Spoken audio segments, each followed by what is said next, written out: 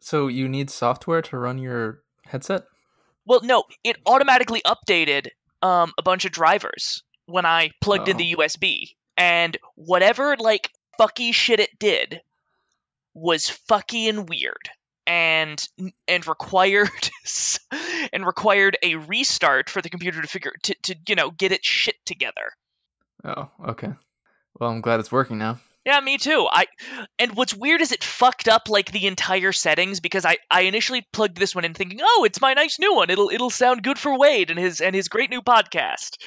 But when it wasn't working, I'm like, okay, I'll just switch back to the older one. It might not sound as nice, but then that one was just as fucky. so I'm like, so whatever driver bullshit this uh, this thing pulled when I plugged it in took a little bit for the computer to uh, unfuck itself, but thankfully it did and uh, and here we are. So I I just started recording it already. Yeah, no, that's fine. That, but Yeah. just, You just can in case. You, you you can figure out if uh, if I say anything particularly shenanigan worthy that you can like put in there for for Yeah. shits and giggles.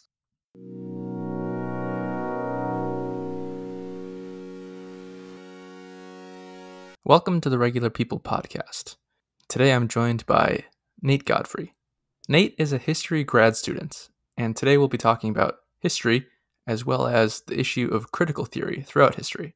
We'll hear his take on that, and we'll discuss that among other things. I don't know how how do you think I should introduce you? I, I called you a history grad student. Does that I, I suffice? yeah, I'm I'm a graduate student in in history, currently working on my master's thesis.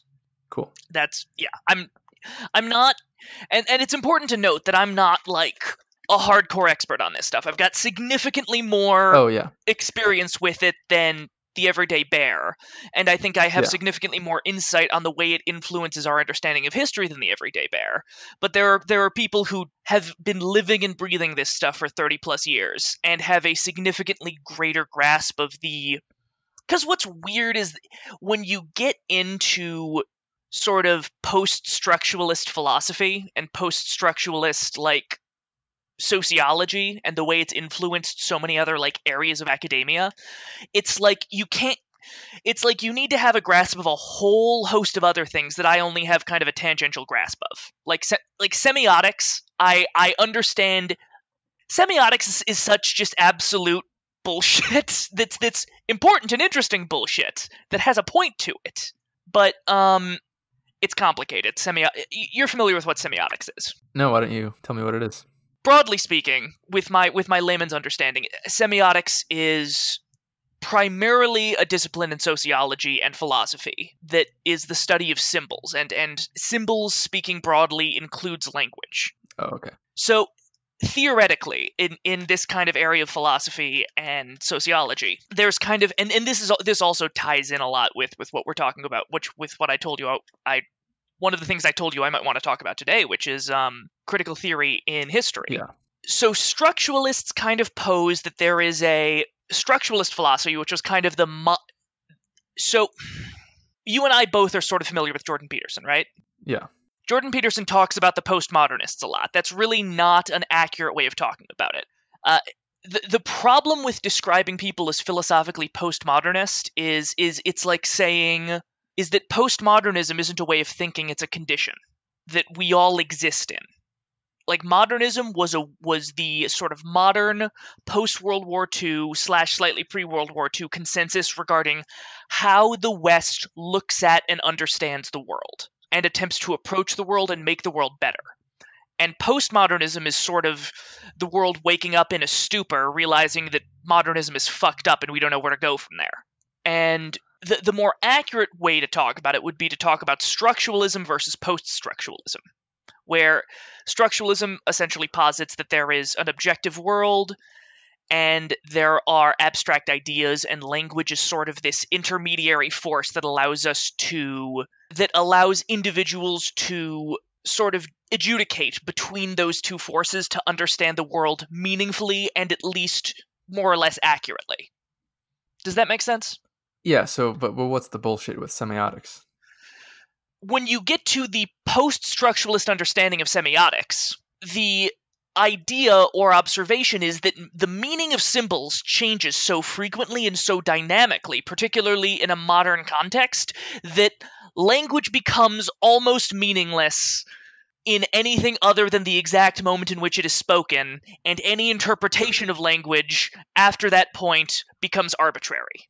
But I mean, wouldn't semiotics wouldn't that have to involve looking at the moment that this language was made in to understand it? Well, and and and this is where the, the, the history comes in because when you when you start studying semiotics and post structuralism in history, what historians have been grappling with for a long time, and and w- w- and this is a thing that that it's important to note that history as a profession isn't that old.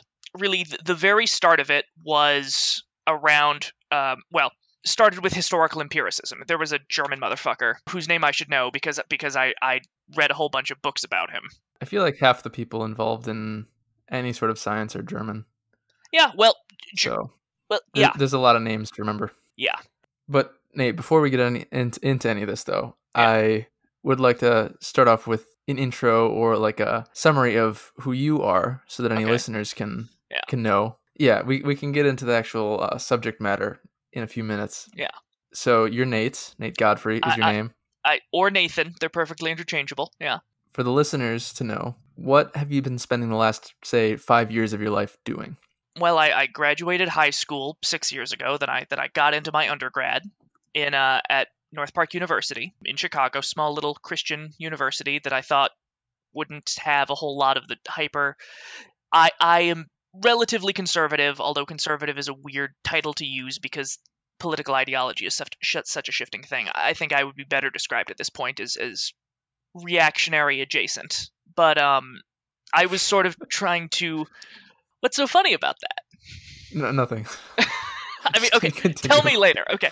Um, I was I was looking to sort of avoid the hyper progressivism that I perceived as being kind of a integral part of most university systems at this point. And I thought that, that by going to a Christian university in Chicago, I could avoid that. I could not, as it turns out. As it turns out, it's there Chicago. too. Yeah, I know I was in Chicago, but it was like Chicago has enough sub communities in it, some of which are hyper conservative, that in theory it was avoidable. Like, if you go to the right part of Chicago, you have like all of the hyper conservative, like Greek Orthodox churches just in one area that also happened to be near the area that I was going to, but that wasn't the. Oh, okay. So you're hoping to avoid that and were unsuccessful? I was I was very unsuccessful. Well, I didn't appreciate how much worse it could get until I, I started going to graduate school in a in a more general kind of larger university at at, a, at Ohio University here in uh in Ohio, as as the name Ohio University would you know describe. So Ohio University is even more liberal. Well, I wouldn't. Liberal isn't the right word. Okay. Li, in the and this is the problem Marxist? with. No, I wouldn't even say Marxist. Marxist isn't the right word either. Progressive and except hyper progressive and the problem is progressivism has kind of shifted over the last like century to mean something very different than well not even something very different progressivism didn't used to be as radical as it is now the the progressives and and for lack of a better term, and I, I, use this term with some hesitation because it's it's not super accurate. The sort of neo-Marxists or post-Marxists sort of started canoodling in the in the late 40s through early 50s, and um, a bunch of philosophers and a bunch of thinkers who were sort of dejected at the state of and the ultimate the ultimate culmination of what they saw as the sort of staple Marxist ideology had failed. And so they started kind of trying to move on to other ways of thinking about things that still had a, a radical deconstructionist and utopian agenda that sort of I think is well intentioned, and it's important to note that it's well intentioned. I don't I don't think there's an evil cabal of of of you know mustache twirling villains trying to like overthrow capitalism.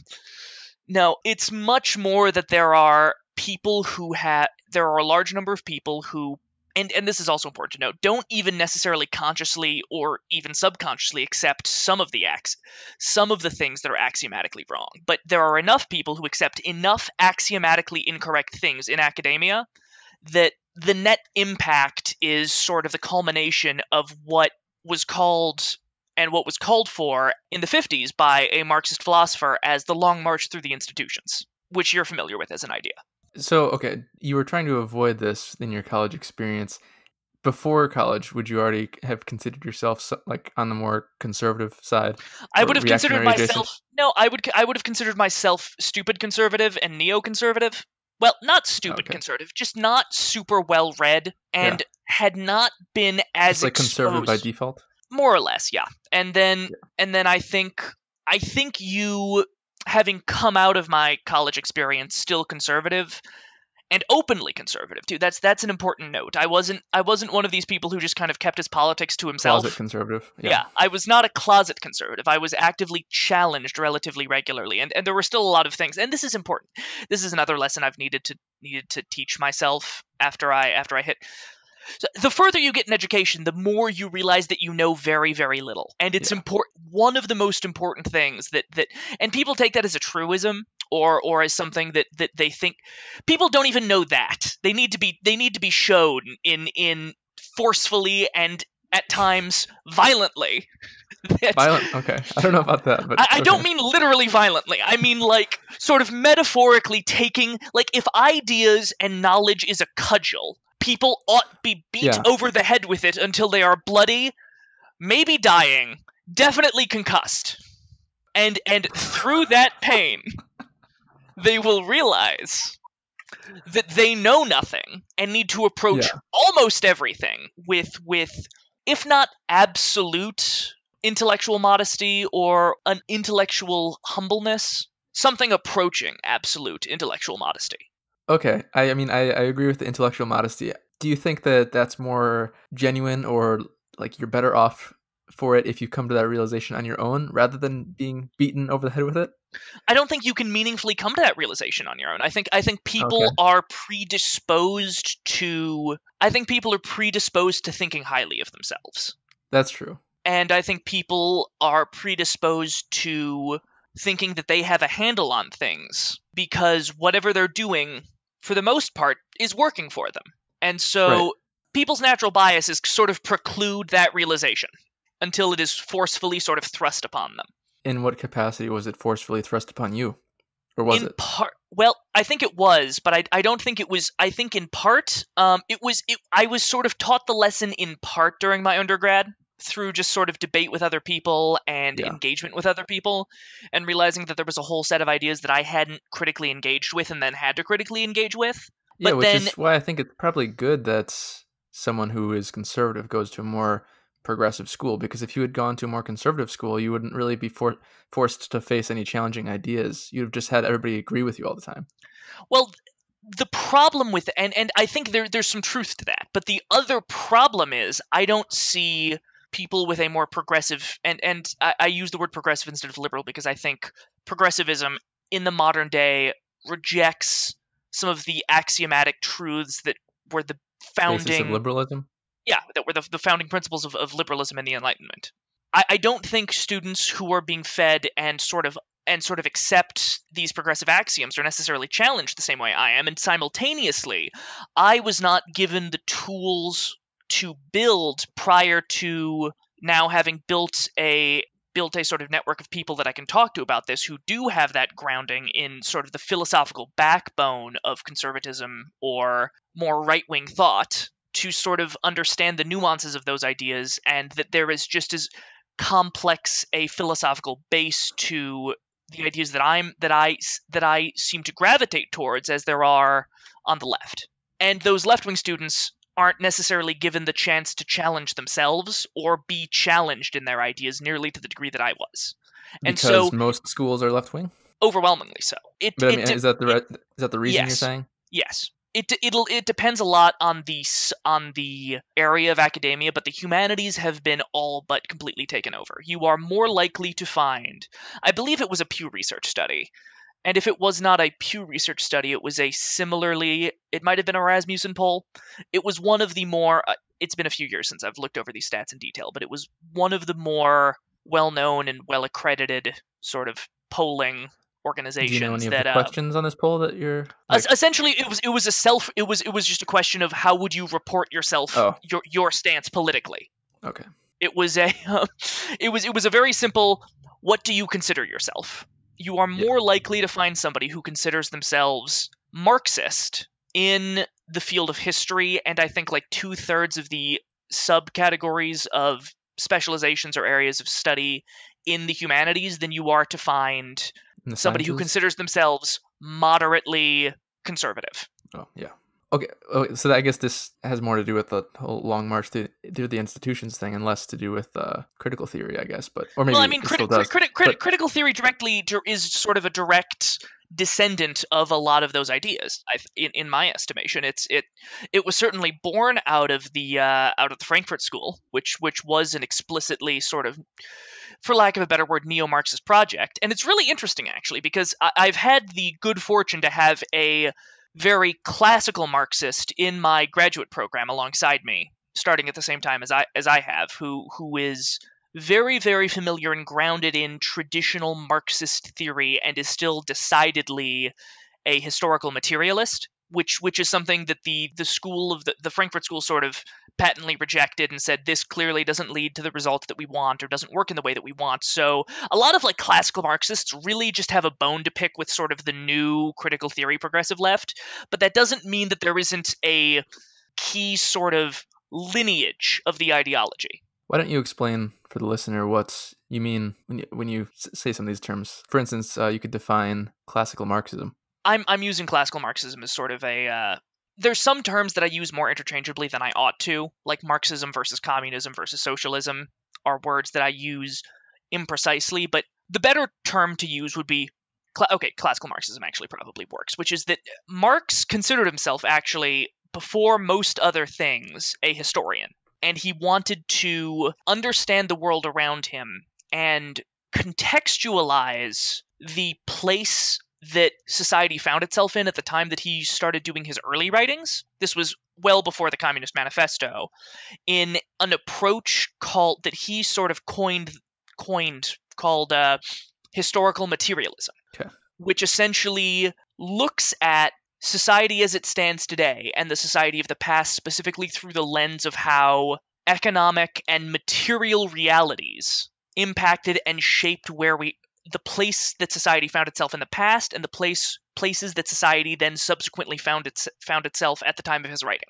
It, it's sort of historical materialism comes down to it's all the results of the resources people had access to, how they divvied up those resources, how those resources then necessarily created a social order when X group of people had control of those resources and X group of people did not have control of those resources. Yeah. And it's material all the way down. There isn't a lot and of room saying, in that. Who are you saying was rejecting the historical materialism? Uh, the Frankfurt School of philosophy was sort of, um, which was founded broadly by, um, and and I don't mean to, I don't mean to imply there's some sort of some people when when you say that these were like Jewish intellectuals are going to say anti-Semitism, and I there is no such thing as a Jewish conspiracy. I am disavowing anybody who is asserting there is a Jewish conspiracy. Anti-Semitism is a blight upon society. That said, well, and and it's it's important to contextualize. I'm not just saying they were Jewish because yeah. okay, so as Hitler rose to power, there were a bunch of Marxist intellectuals who were Jewish who, because of sort of seeing where the, where the chips were falling, with Hitler gradually rising to power, didn't want to be in Germany anymore, and also didn't want to go to the Soviet Union because they thought that was a shit show at this point, even though they themselves were still Marxist or at least had historically been Marxist. So they fled to the United States. Um, and so these Jewish Jewish German intellectuals founded what came to be known as the Frankfurt School of Sociology, or just generally the, the Frankfurt School, which had massive and expansive influences all over academia, particularly particularly the humanities, since its founding in the 1950s. And they sort of rejected the historical materialism and the well, and mind you, they were sociologists first, not historians. My understanding of their impact is primarily what it's done to history or or my personal experience with with reading you know modern journals and modern academic papers on various subjects. But that said they they sort of rejected the historical materialism and the strict sort of capital and economics focused presuppositions of Marx in place in of, of in favor of a more and this is a term that they used briefly before they started using critical theory more broadly uh, cultural Marxism. a, a, a Marxism that in, in favor of critical theory, which is instead of necessarily challenging the social order through the lens of figuring out why things were distributed the way they were and chal- and, and saying that the, that distribution was arbitrary instead sort of going deeper and challenging or critiquing and analyzing and attempting to deconstruct the sort of social conditions beliefs and values that under that, that they, they saw as undergirding a lot of those societal values and material realities So you're saying they thought the culture dictated the like economic rather than the other way around? Yes. Um, Marx sort of cultural or historical materialism sort of discounts ideas. There's less of a study of ideas because there's less of a belief that novel ideas can change history so much as material realities can change history. Where critical theory or that concept that ideas cannot change history was sort of rejected by the Frankfurt School. And, well, they don't say that material realities don't change history. They say that Marx and his immediate historical, those who worked in the sort of Marxist historical lens, insufficiently did not take ideas as a prime mover in historical change seriously. So before, I think before we started recording this podcast, you said you had a problem with critical theory. So do you what is your problem exactly with it? Well, it's important to note, I think, first of all, that um, critical theory is in part correct or useful. The way to think about different theories or methodologies, because critical theory is, in a sense, a methodology, really, um, that challenges things and approaches arriving at truth or reality in a certain way.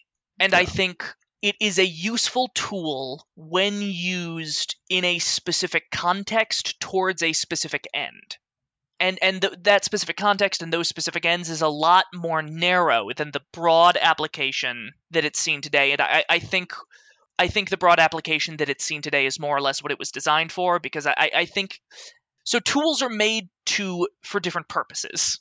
And I think Yeah. one of the one of the purposes of critical theory, as described by its designers in the Frankfurt School, was explicitly the deconstruction of Western society towards a more utopian the deconstruction and then reconstruction of Western society towards a more utopian end that is pseudo Marxist, but not entirely Marxist because it rejects materialism as a you understand.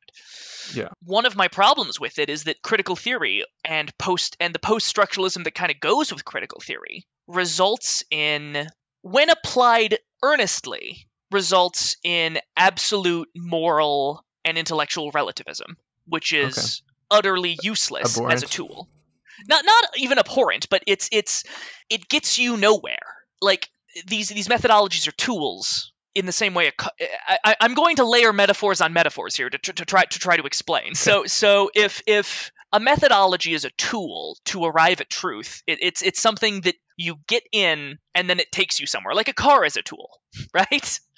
Okay. Um, okay. so if if traditional positivist, you know what I mean when I say positivist, Yeah, logical positivism. yeah, like if traditional positivist or or necessarily falsifiable methodologies are something that have more or less brought us to truth, when you approach relativism, relativism is a car without an engine. It doesn't get us anywhere, like at all. Nowhere meaningful, certainly. Nowhere nearer to the Right. truth. But the other problem with critical theory is ultimately, oftentimes, it's not applied equally. It's applied very relativistically to based upon the sort of progressive presuppositions about who does or does not have power and who therefore and we should automatically default to giving special treatment or special consideration or greater regard towards those viewpoints that have been underprivileged in the past or may not have been given sufficient regard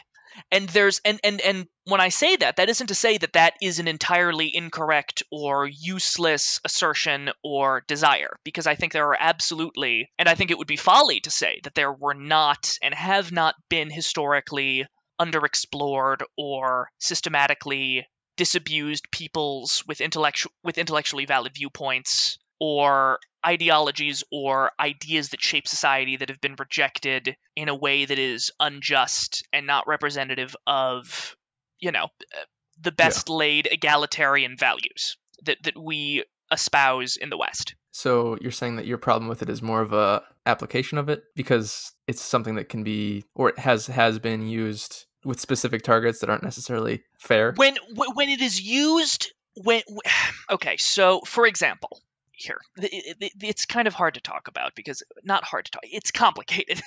Um, critical theory is a tool essentially to point out the problems with the way things are. Yeah it doesn't the pro- it doesn't necessarily pose any solutions and it doesn't give us a new methodology. A lot of the humanities right now and this is something that was told to me explicitly, a lot of the humanities are defined by being stuck with no clear solutions to problems that critical theory and sort of post-structuralist criticisms of positivist or the empiricist approach to history have pointed out or have been pointed out. Critical theory essentially points out that, that our engine the engine in our car is not working correctly and it sputters and it wastes gas and it occasionally breaks down then we need to get out and hammer it a few times with a wrench and they point out that that's a problem. Right.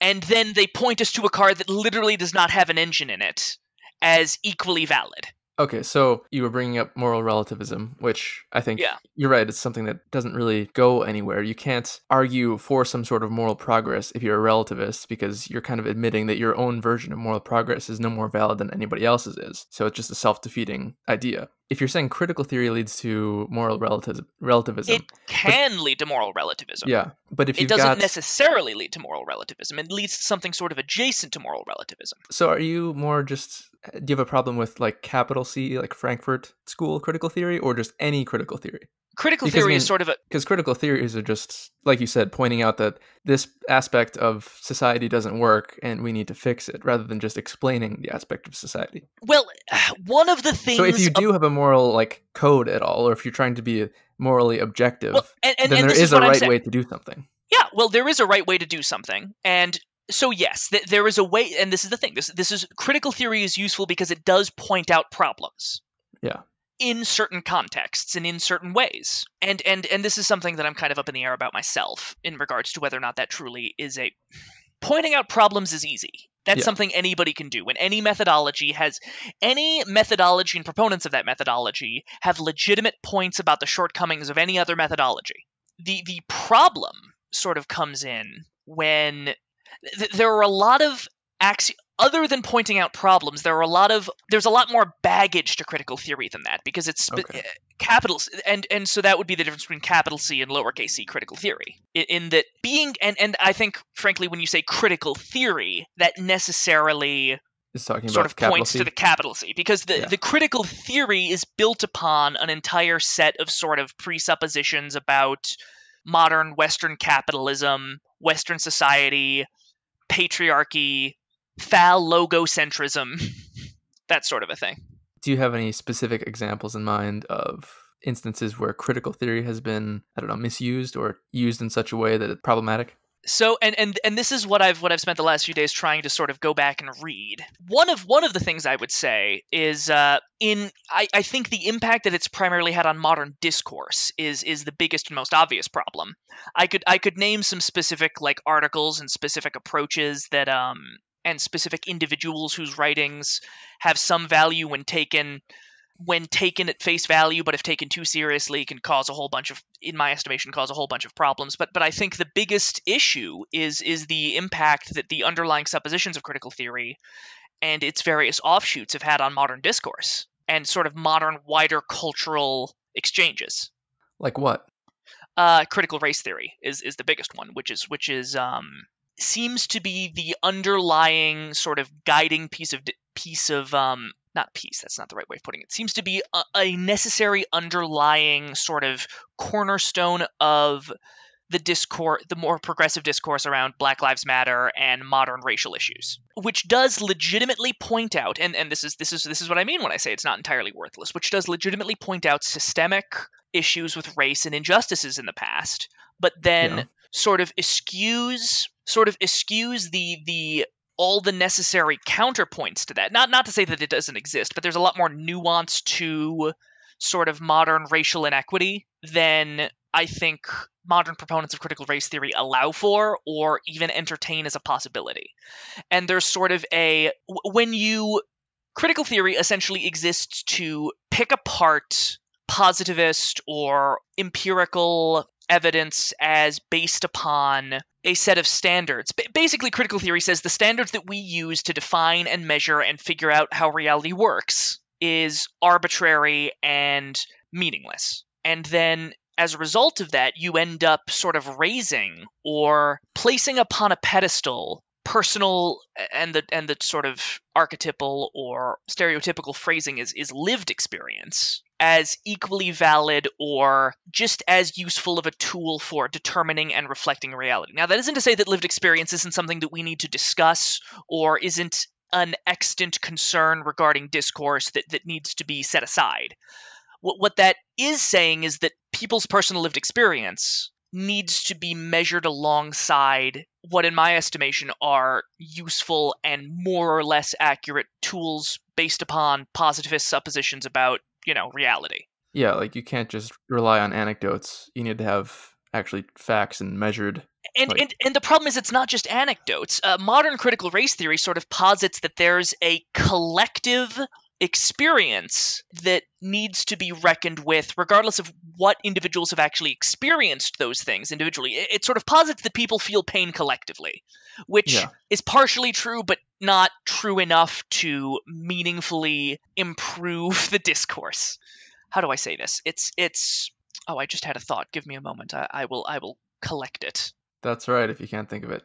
Well, no, because it's important. It's it's it's uh it's it's like directly related to to what we were just talking about, and it's going to bother me if I don't if I don't say it or or think of it, which is fuck. I'll think of it later at some yeah, point. Yeah, come back to it. Yeah.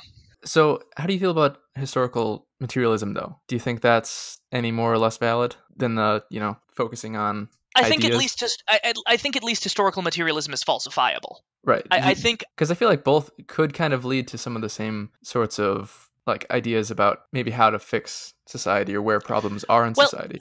Because a lot of they can times... they can lead to similar but not in t- but still sort of incompatible similar but still incompatible solutions.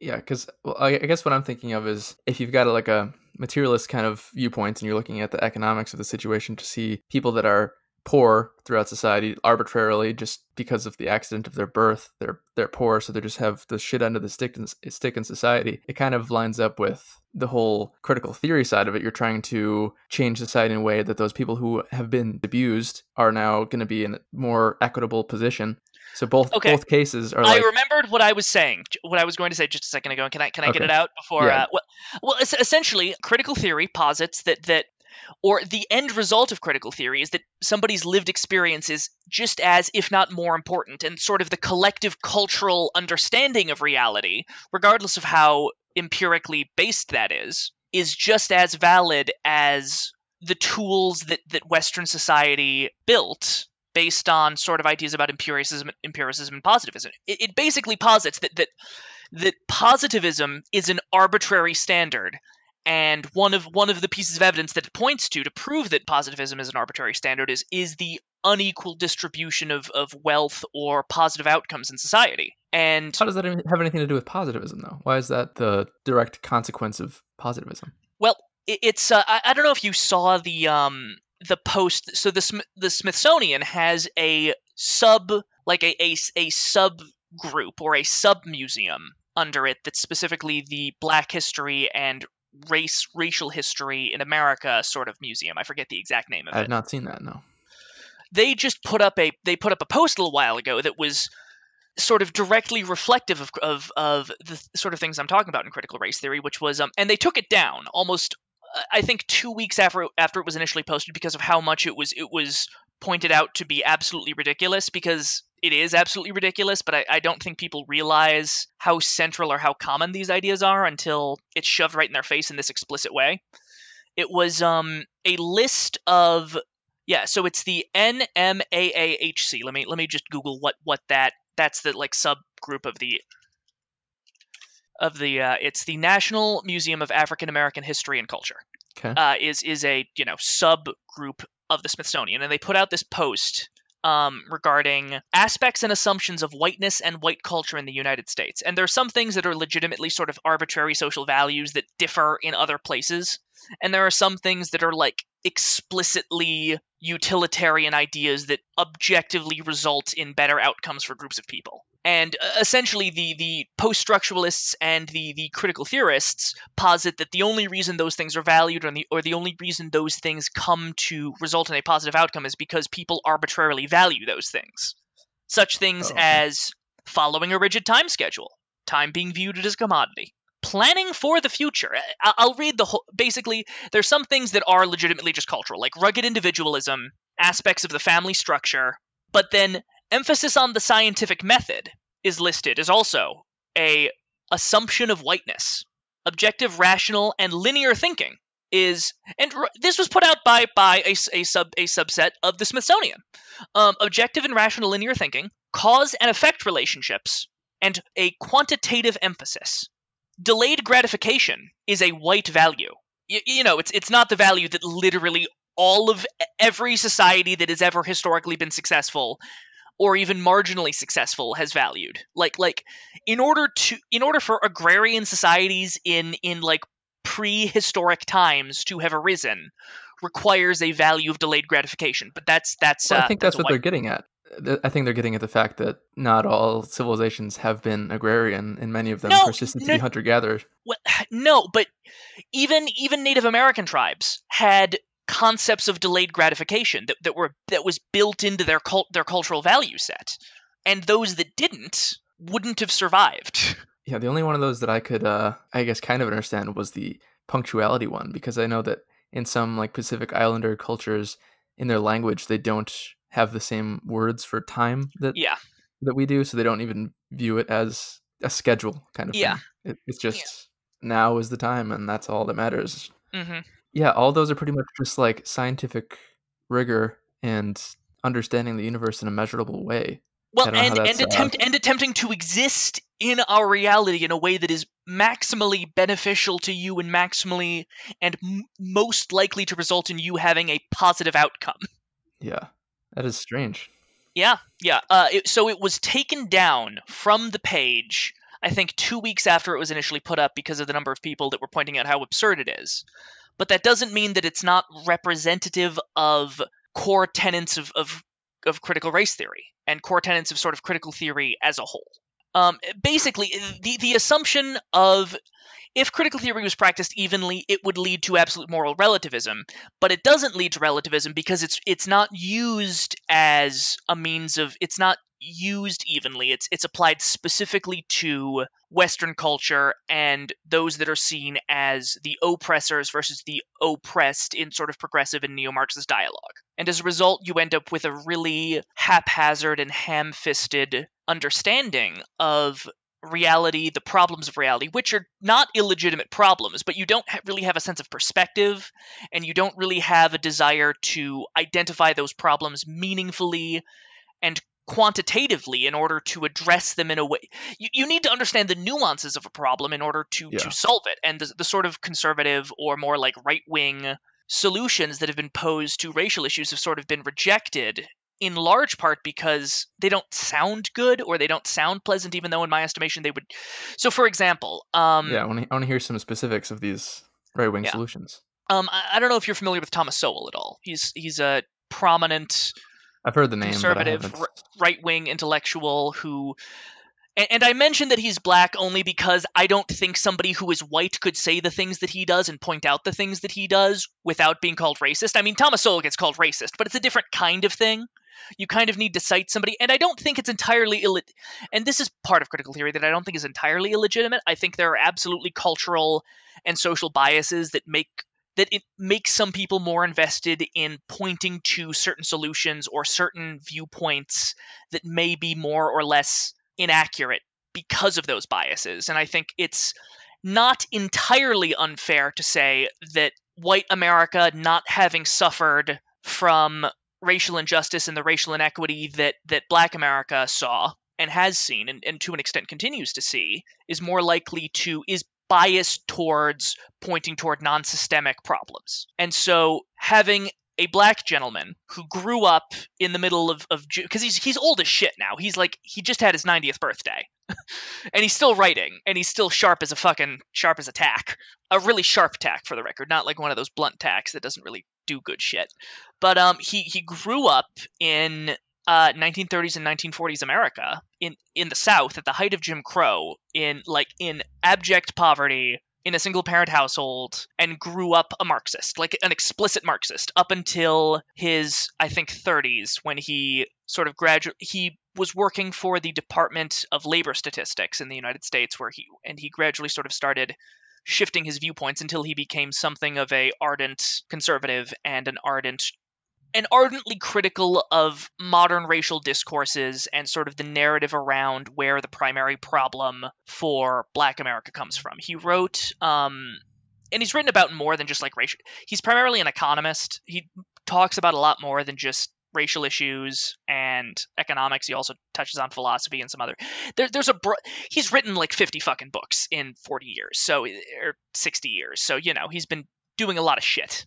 Um, but one of the books that I think is a really important read, and I'm not entirely sure I agree with the entirety of his thesis, or I'm not entirely sure he's without fault. So I'm not. The point is, I'm not unequivocally endorsing this book, Right. absolutely. What's but I think book? he's. It's uh, called Black Rednecks and White Liberals. Um, one thing, one thing that I would I would say about Sowell that I think is is to his absolute credit is he writes on academic subject matter and complex academic subject matter in very very plain approachable language for common people. And so he'll have very simple non-academic sounding titles on his books. But the the thesis of, of black rednecks and white liberals is that well there are abs and, and he doesn't deny that there are racial disparities that that stem from systemic issues but what he does is he sort of examines the underlying the underlying systemic discriminations that black america faced in the Jim Crow era and in the post-slavery era, alongside other minorities that faced in in the United States that faced similar levels of discrimination, like um, the Chinese on the West Coast, as an example and also actually different subgroups of immigrant blacks in the United States who came to America outside of the outside of being born to or integrated into freedman society. And the, conclu- the the point that he's making, his overall thesis, at least at the beginning, he sort of shifts between different focuses over the course of the book and different like minority groups and how they did or didn't succeed and what the problems with the, their pro- the problems they faced were. But his his core thesis at the very beginning is that there was a specific culture, not actually born of black culture or arrived at or constructed by sort of post-slavery black America, but actually initially was the result of a particular cultural standard that he calls he as a shorthand he calls it the redneck culture that initially arose from 15th and 16th century Ireland and Scotland. Steven Pinker kind of talks about the same thing in The Better Angels of Our Nature, not having to do with black people, but just having to do with people who live in the southern states. hmm Well, he, he points out that there was a specific redneck culture, and he, he he kind of goes into detail about what constitutes that culture and what sort of social attitudes make up that culture, such as like a hostility to intellectualism, sexual promiscuity, a sort of hostility towards a sort of hostility in general, but but a hostility towards intellectualism and also just a rejection of anything resembling a Protestant work ethic in general, hostility towards work and labor. And he doesn't say, well, black Americans just have this. He goes through like really deep statistics about it wasn't that the the the American South prior to the abolition of slavery and even after the abolition of slavery to an extent and even during the height of slavery when we think of you know all of these big cotton plantation owners suffered from all of all of the the overwhelming majority of the white folks were sort of exemplified what Sowell calls this redneck culture of Yeah. s- sort of that did not yield positive social results and then he goes through a bunch of empirical evidence for this where he like um like if you go back to 1810 you can um we have data that tells us the number of milk yielding cows per capita for each of the individual states and they're actually about equal between the north and the south northern states and southern states with a few like examples of like southern states having way more cows and northern states having way less cows and you know vice versa. But um Sure. What does that have to do with it? so there's a number of things that you can do with milk, right? Yeah. That's labor intensive, but then yields significantly more valuable materials that you can either use for yourself or for, or to sell as sort of, Sure. you know, a Cream, capitalist venture. Cheese, butter. Yes, butter is the big one. Um, because we there was also recorded the the amount of butter that was produced by farmers both in the north and the south was measured and even though they had the same number of cows there was almost no butter produced almost ever in the south and well most northerners both made their own butter butter and then would and if they had access to extra would then sell it on the market almost no southerners actually had tasted butter or some some of them hadn't even seen butter because they just didn't produce it because it just wasn't churning is hard bitch Is that? do you think that's the most likely um, reason? That it's just because it's difficult work and it's not worth doing, even though it is worth doing. Like, is it Is there- possible that is it possible that there are cultural standards that tell you that butter just isn't isn't worth making yeah, um and what like would the aside from maybe like a, a ge- slight genetic difference in people valuing butter less, perhaps they don't like the taste. um well I'm just wondering I- if anything I- like that is possible. that's I, I I would be very skeptical of there being some sort of genetic difference. I mostly because I well well I'm Because- not I Okay, so, so what so what I imagine is that if you're some farmer who has some cows, you might be lazy, but you have children and you can make your children do things. And those children might be lazy, but you know, especially in like the further back in history you go, I imagine that parents had more authoritarian control over their children. Mhm. So if you want some butter, you don't even have to do the work yourself. You can have your daughter make the butter or your son make the butter. And like even Mhm. though th- there can there can still be laziness around, but it's like the authority of of the, the parent forcing their child to make butter or else they're going to get whipped. It, it seems like it would be equally existent in the north and the southern states. You would think so. But one of the reasons, and, and Sowell points to this explicitly, is a lot of the reason poorer folks moved to the South was because of how much of it was still occupied by enough wild game that a lot of people could subsist entirely off the land, significantly more than they could Mm. in the North. And so there was a lot less of a need to invest in delayed gratification delayed gratification endeavors. And, and milk is just like the big one that, that sticks out to me in my head. He goes through a bunch of other like empirical Yeah. stuff like that regarding the oh oh this is a, this is a good example um it was found in the south it was found that a large section of territory in the south would be prime well and generally it's just it's it's a culture that also just doesn't value precision and like being really careful and cautious about things and being like professional it that doesn't value professionalism. That's one of the things about redneck culture that he points to. And he points to the fact that it was found in the 17 like 80s or 90s shortly after the revolutionary war that um the soil in a huge section of southern territory was particularly predisposed to growing really really really good grapes for wine. And for a long time you had a bunch of people no they tried to use it Oh. there was not a single successful vineyard that was not owned by a northerner who oversaw and led all the labor. And even those soon died off because the reputation of these southern these southern vineyards became so awful because the quality of the wine that the because because there there were successful um vineyards in the south that were run by northerners Right. but they were outnumbered heavily by the number of smaller sort of family vineyards that were owned by like local less successful or wealthy southerners who then out that entire territory sort of became associated with the quality of wine that the southerners put out and it was so bad that all of the markets that would have existed for it stopped buying So hold on. I feel like some of what you're saying is actually kind of a point in favor of critical theory of the fact of the concept that the culture is the problem or, like these, Well, no, no, no, no, no. C- that c- the the- culture. Well, no, no, no. I, I, I- think you're misunderstanding what my problem with critical theory is. Um, Oh, because sure. I absolutely think that the culture that is the true. problem. It's just yeah. That- okay. Well, well, what critical theory posits is that cultural standards are arbitrary Yeah. and that there are an entire set of values that we hold as cultural values that are no more valid or no more likely to yield positive results gotcha. than another yeah. set of values.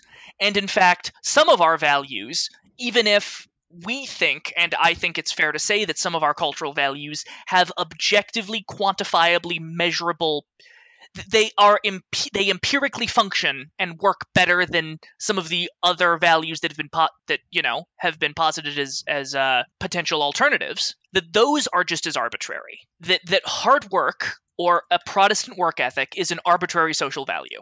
That um that time management is an arbitrary social value. And so will and but critical theory when applied in in the area of critical race theory basically points out basically looks at if culture is arbitrary and can lead to pernicious results to the people that don't basically what what, what modern critical race theory posits is that racial values and and racism i mean racism is arbitrary yes but th- there are things that lead to racial disparity in the modern day that are the results of white cultural values arbitrarily undervaluing black output. Right. So for Sowell's book was the general point that it's not about some sort of systemic oppression on the part of white people that's causing like well i think it's important to note that he doesn't say that systemic oppression does not have a measurable and impact. He just impact. Talking... It's he, he's he's saying that we that there has been a there is a systemic investment in ignoring, overlooking, and not entertaining the possibility that there are other explanations such as cultural that he makes the case that, that and I don't think he ever says because I, I, just listened to the book on audiobook recently again um just I, I read it the first time and then I listened to it on audiobook I don't think he ever says that there aren't heavy systemic problems that that yeah. result in injustice and inequality but they don't ex- number one they don't explain all of the inequality and they don't explain why the inequality has persisted to the degree that it has particularly when you compare black america to other groups that have faced similar amounts of discrimination in the united states itself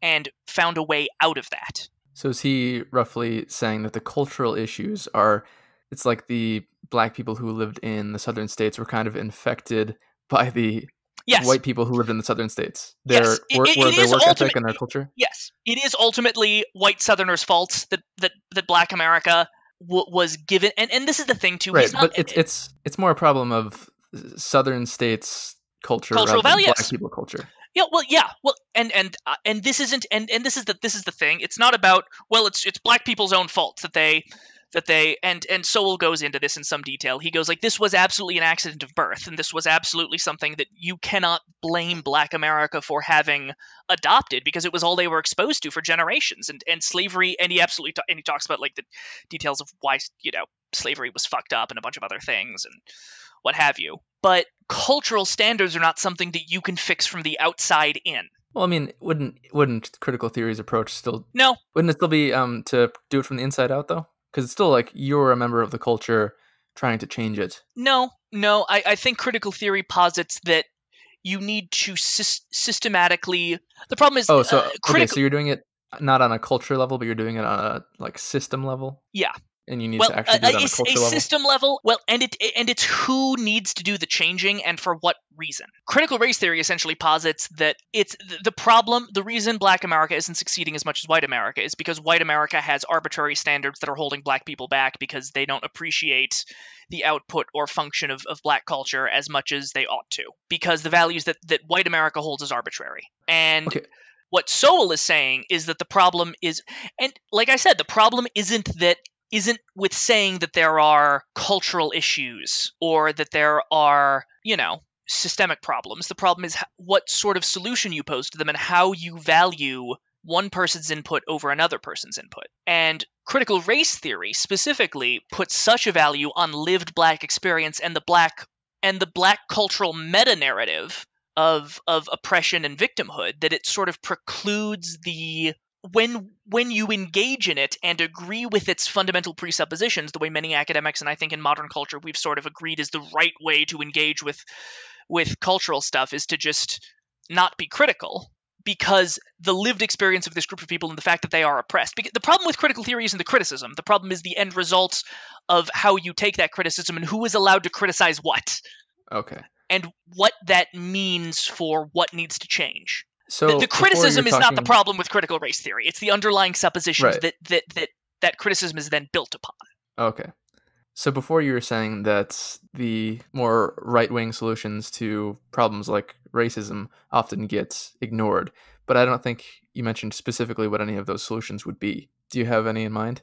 Well, part of it is they aren't systemic solutions. Is, is part of the problem. I Sure, think. I mean, um, that- I mean that's that sounds to me more like Sowell another, essentially um, says. So, Sowell is- essentially says you need we need to just look at them differently. not even look at them differently. Um, you need to Black America needs to start valuing things differently, and those cultural and and it's hard to do that. That's a hard thing to do, and there isn't necessarily a. I think the first thing to do is you we start setting actual standards in academics that aren't arbitrary or that aren't that don't control for black academic underachievement. In fact, there, there was an entire book written written recently by another black conservative about his experience trying to get through grad school and how he was coddled by his his his teachers and stuff because they didn't feel like it was their place to criticize somebody who came from an underprivileged background and as a result he wasn't sufficiently trained in his field to be able to compete with other people but that didn't really matter because you see the point um, you, you- there needs to be a shift in cultural values and how we do that i think the answers to that varies piece by piece but i don't think the solution is try to systemically f- the underlying assumption is that the overwhelming majority of problems that black that black Americans face is systemic racism or a s- systemic discrimination. And I think that is some of the problem. And I think there are absolutely solutions solutions to that that are systemic. But I think Sure. when you look at the breadth of black america's the, the breadth and depth and prolonged nature of black america's underachievement compared to the rest of america i think then it becomes clear that the solution needs to be needs to come from within the black community ra- rather than from outside of it rather than it being some sort of systemic change to government or law or the way white americans interact with black americans I Well, think- okay.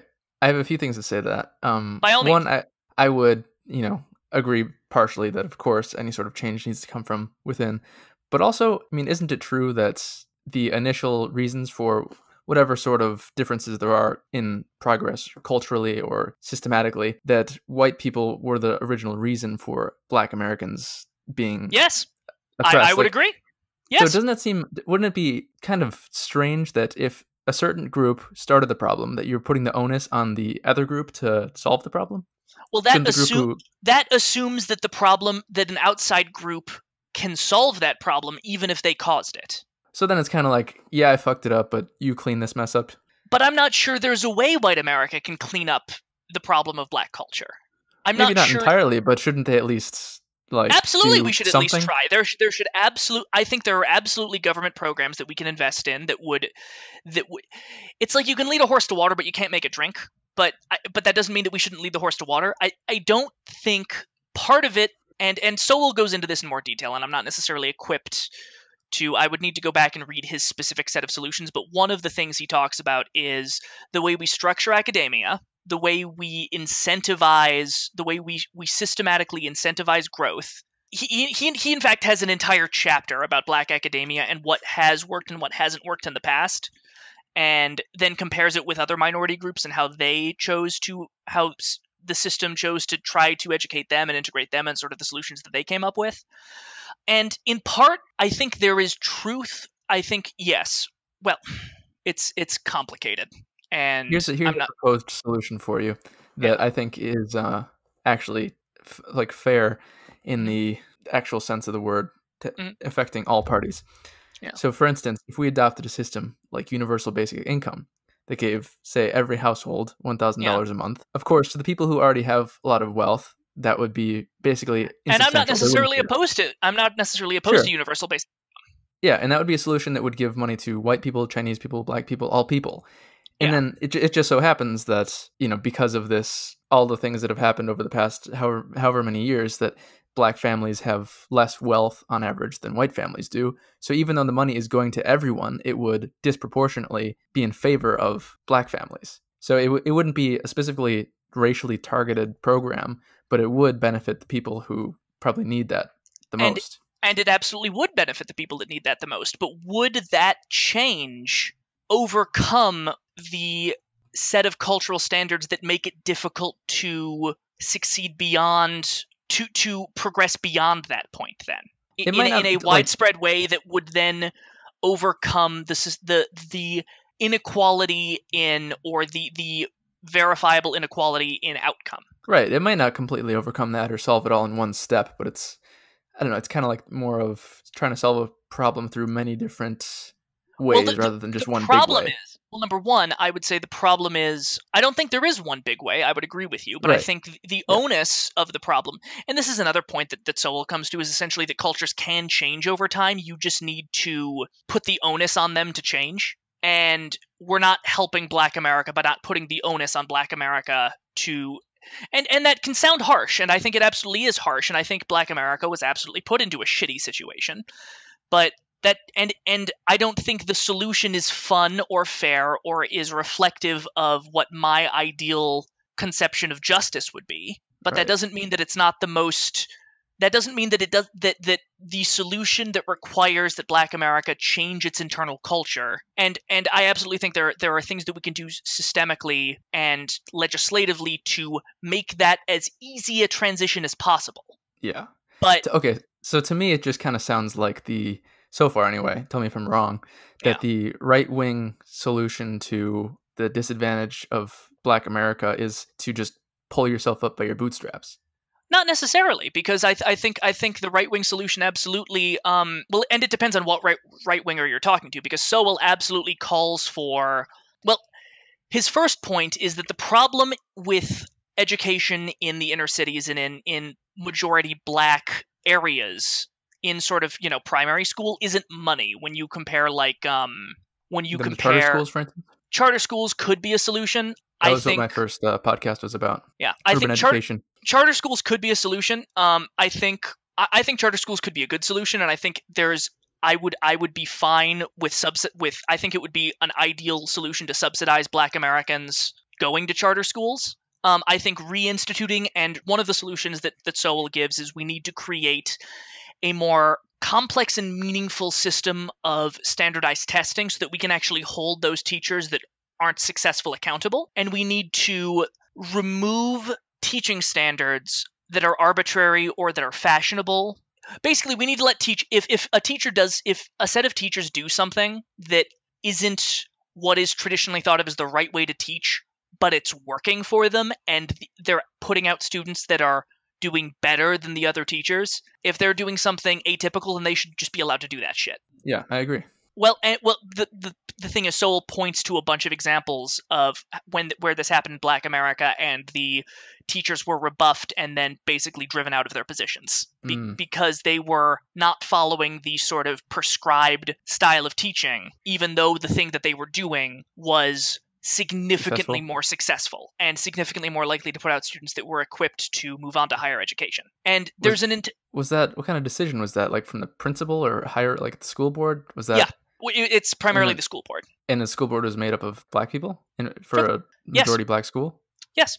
Huh. There's a whole set of issues that, and and the thing is, there, there's there's a whole set of solutions that, that right wing America poses that the sort of that critical race theory and sort of the American progressive left in in general regards as victim blaming, which yeah. I don't which I can understand why they would think that, but I think that's based on a set of assumptions that is both unfair, unhelpful, and is the least likely to result in actually raising black academic success. Because I think there are ab- there, there are absolutely systems in place that put black America where it is, but there are but one of those things and and another good example that Sowell comes to is um, a major restructure of welfare, which is a politi- almost a political impossibility at this point because you can't take once you start giving s- somebody something and they start feeling entitled to it, it's political suicide to retract it from them. But he um another big thing that he points to, and one of one of Sowell's major contributions is that um Black America was progressing, economically progressing and closing the gap between themselves and white America faster and a black middle class was growing faster and larger and more meaningfully before the and this isn't to say that the Civil Rights Act didn't do anything, but before the Civil Rights Act compared to after the Civil Rights Act. And one of the things he points to in regards to why that is is he doesn't say the Civil Rights Act was a bad thing. Although I think I think he point there's a specific set of things with there's a specific like small subcategory of things within the Civil Rights Act that he thought were counterproductive. But the larger thing is LBJ's Great Societies program shifted welfare in such a way as to effectively incentivize single motherhood inside not just black communities, but low income white communities as well. Like it wasn't just black America got fucked up by this, but basically he points to the fact that one of the biggest predictors of social success is having a meaningful two parent household and a community of actual meaningful two parent households. I forget the name of the, the name of the person who did the study, but um, it was a sociologist who essentially pointed out that not only is having a two parent household beneficial by itself, but that a, another really massive predictor is living in a community of people that all have two parent households and have a, a where you have a network of positive male influence. And yeah, I remember reading a book recently where in it they were talking about a experiment kind of study that happened. I think it was in it was in Sweden where they instead of having nuclear families, they had a just a kind of commune where the children belonged to everyone. Mm-hmm. And then they did that for like five, ten years, and then assessed their happiness and also their learning and all, all sorts of measures that you would kind of deem mm-hmm. A good, successful human being. And mm-hmm. they kind of found it a failure that the nuclear family is actually probably the best, or at least the better alternative to. Yeah, but but uh, what what I'm saying is that having a having a nuclear family is good and indicative of of and a predictor of success in society a really big predictor of success in society actually if you when you control for when you look at racial disparity in the United States when you control for who comes from a single parent household versus a multi-parent household the disparity in outcomes oh also when you control for wealth like a white a poor white person coming from a single parent household and a poor black person coming from a single parent household have practically no systemic discrepancy in their social outcomes statistically speaking. Sure, but it isn't isn't it true that black people are more likely to come from a lower wealth and so one single parent household than yes. white people? And I'm yeah, and I'm not saying that that I, I'm not attempting to say that that that means that there is no such thing as racial discrimination.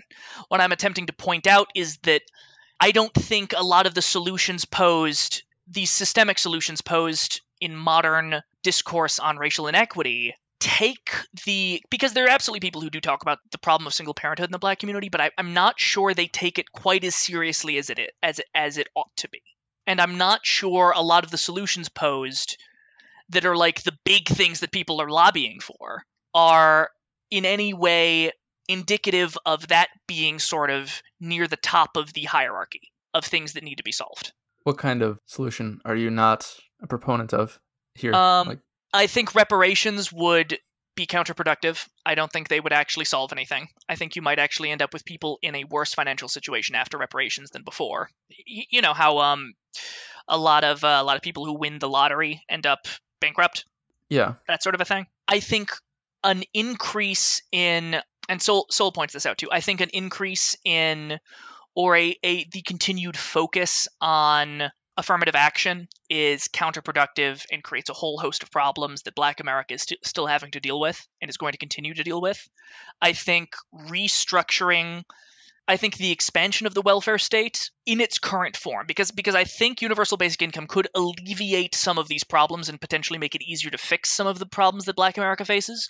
But I think yeah. that requires a major restructuring of, of the welfare state as it exists right now, like a major restructuring. And most of what I'm hearing doesn't really involve that. Most of what I'm hearing is sort of an increase to general entitlements. Okay, but specifically about like single parenthood, mm-hmm. do you have any feelings one way or another about, for instance, decriminalizing certain things or changing our prison systems at all? Frankly, um, I've I've gotten some conflicting I've gotten some co- conflicting data on that. Well, not conflicting data. I've got conflicting viewpoints from people that I regard as very equipped to talk about the subject, and I think there's absolutely a point to be made about American prison systems and overcriminalization and the way that disparately impacts the black community. Yeah. I think there I think there is a strong case to be made that decriminalizing a whole host of things, particularly nonviolent crimes, is yeah. a solution. On the other hand, there are some academics, including like Sowell talks about this to some extent. He's the person I feel the most comfortable citing, but uh, there's some other I'm I'm cautious to talk about this because there is a legitimate concern that some of this could be victim blaming if if you're you're not careful and if it's not factually accurate, which is which is one one of the reasons that you need to talk about it cautiously and you can't approach it as if you have I don't think I have all the answers, but I think it's possible and I have like I said I haven't looked looked into this in, in great detail, but I think it's possible that some of the cultural standards within the black community have sort of exacerbated the issue in regards to why blacks are uh, imprisoned and found. Now, that isn't to say, and, and again, that isn't to say that there is not that this would not to some degree be and this isn't to say that this wouldn't to some degree be alleviated by decriminalization and treating nonviolent offenders with significantly more leniency and creating a standard that a different a change in the prison system that mitigates the risk of recidivism. Have you seen those um like memes of images of two people next to each other, one's a white person, one's a black person and it's like on the same exact day by the same judge they got like convicted yeah. for the same crimes and then they got completely different sentences. Yeah. Um and that's another thing that, that I've that I've heard um some uh you know, I I encounter various claims in that regard one way and the other, but from what I have seen, now there are some things that are empirically true that I have yet, that I have not seen accounted for by more conservative talking points or more conservative sort of counterpoints, I should say. There are black Americans are significantly more likely to be tried as adults than white American white, white American teenagers are significantly less likely to be tried as adults than black American teenagers when they commit the same crime. And that yeah. that is absolutely reflective of systemic racism. I, I have sure. not seen and, any. And don't you think there's a sort of feedback loop between systemic and cultural issues? For instance, if you're kind of downtrodden, if you're finding it, the system that you're in is against you in that way that you just mentioned, like is one example of being tried as an adult, you're kind of already at a disadvantage for any sort of cultural change you're going to try to do. Potentially, yes, but but one of the one of the points that I think has eluded the conversation so much is that there are minority groups in America that have done it and that have succeeded and have ushered in cultural change within their own communities in a way that maximizes their potential for success. Such as like Chinese? The Chinese are a big example. There's a, there's a specific ethnic subset of Jews that that had a lot of cultural problems. The Irish is another big example. Um, the, way you, the, way you, said Jews there. anyway, continue. The Jews. Ugh. No, I, I, J- Jewish people are cool, and uh, one of one of one of the guys who I've I've recently started hanging out with a lot. Uh, I mean, hanging out with, you know, doing Zoom calls with and playing video games with over the internet during this age of of the Rona is a uh, is a is an Orthodox Jew, and I like like really old religious traditions are cool as shit. And even if I don't necessarily agree, like share share the outcome, there's a there's a I think there's a utility in tradition that uh, this is entirely beside the point. Oh no, it doesn't matter. Orthodox Jews are really fucking cool, but um, that's that. Isn't that one of the, the, the main things of conservatism, the utility and tradition? and the fear of throwing out the baby with the bathwater kind of thing? To an extent, yes. Um, I think there's also, and it depends on what circles you talk to. I think neoconservatism values that a lot less than sort of paleocons, and I think like neo-reactionaries are significantly like when I say when I refer to neo-reactionary reactionaries, they're significantly more critical of and dubious of the idea that we have objectively progressed morally compared to a lot of our ancestors.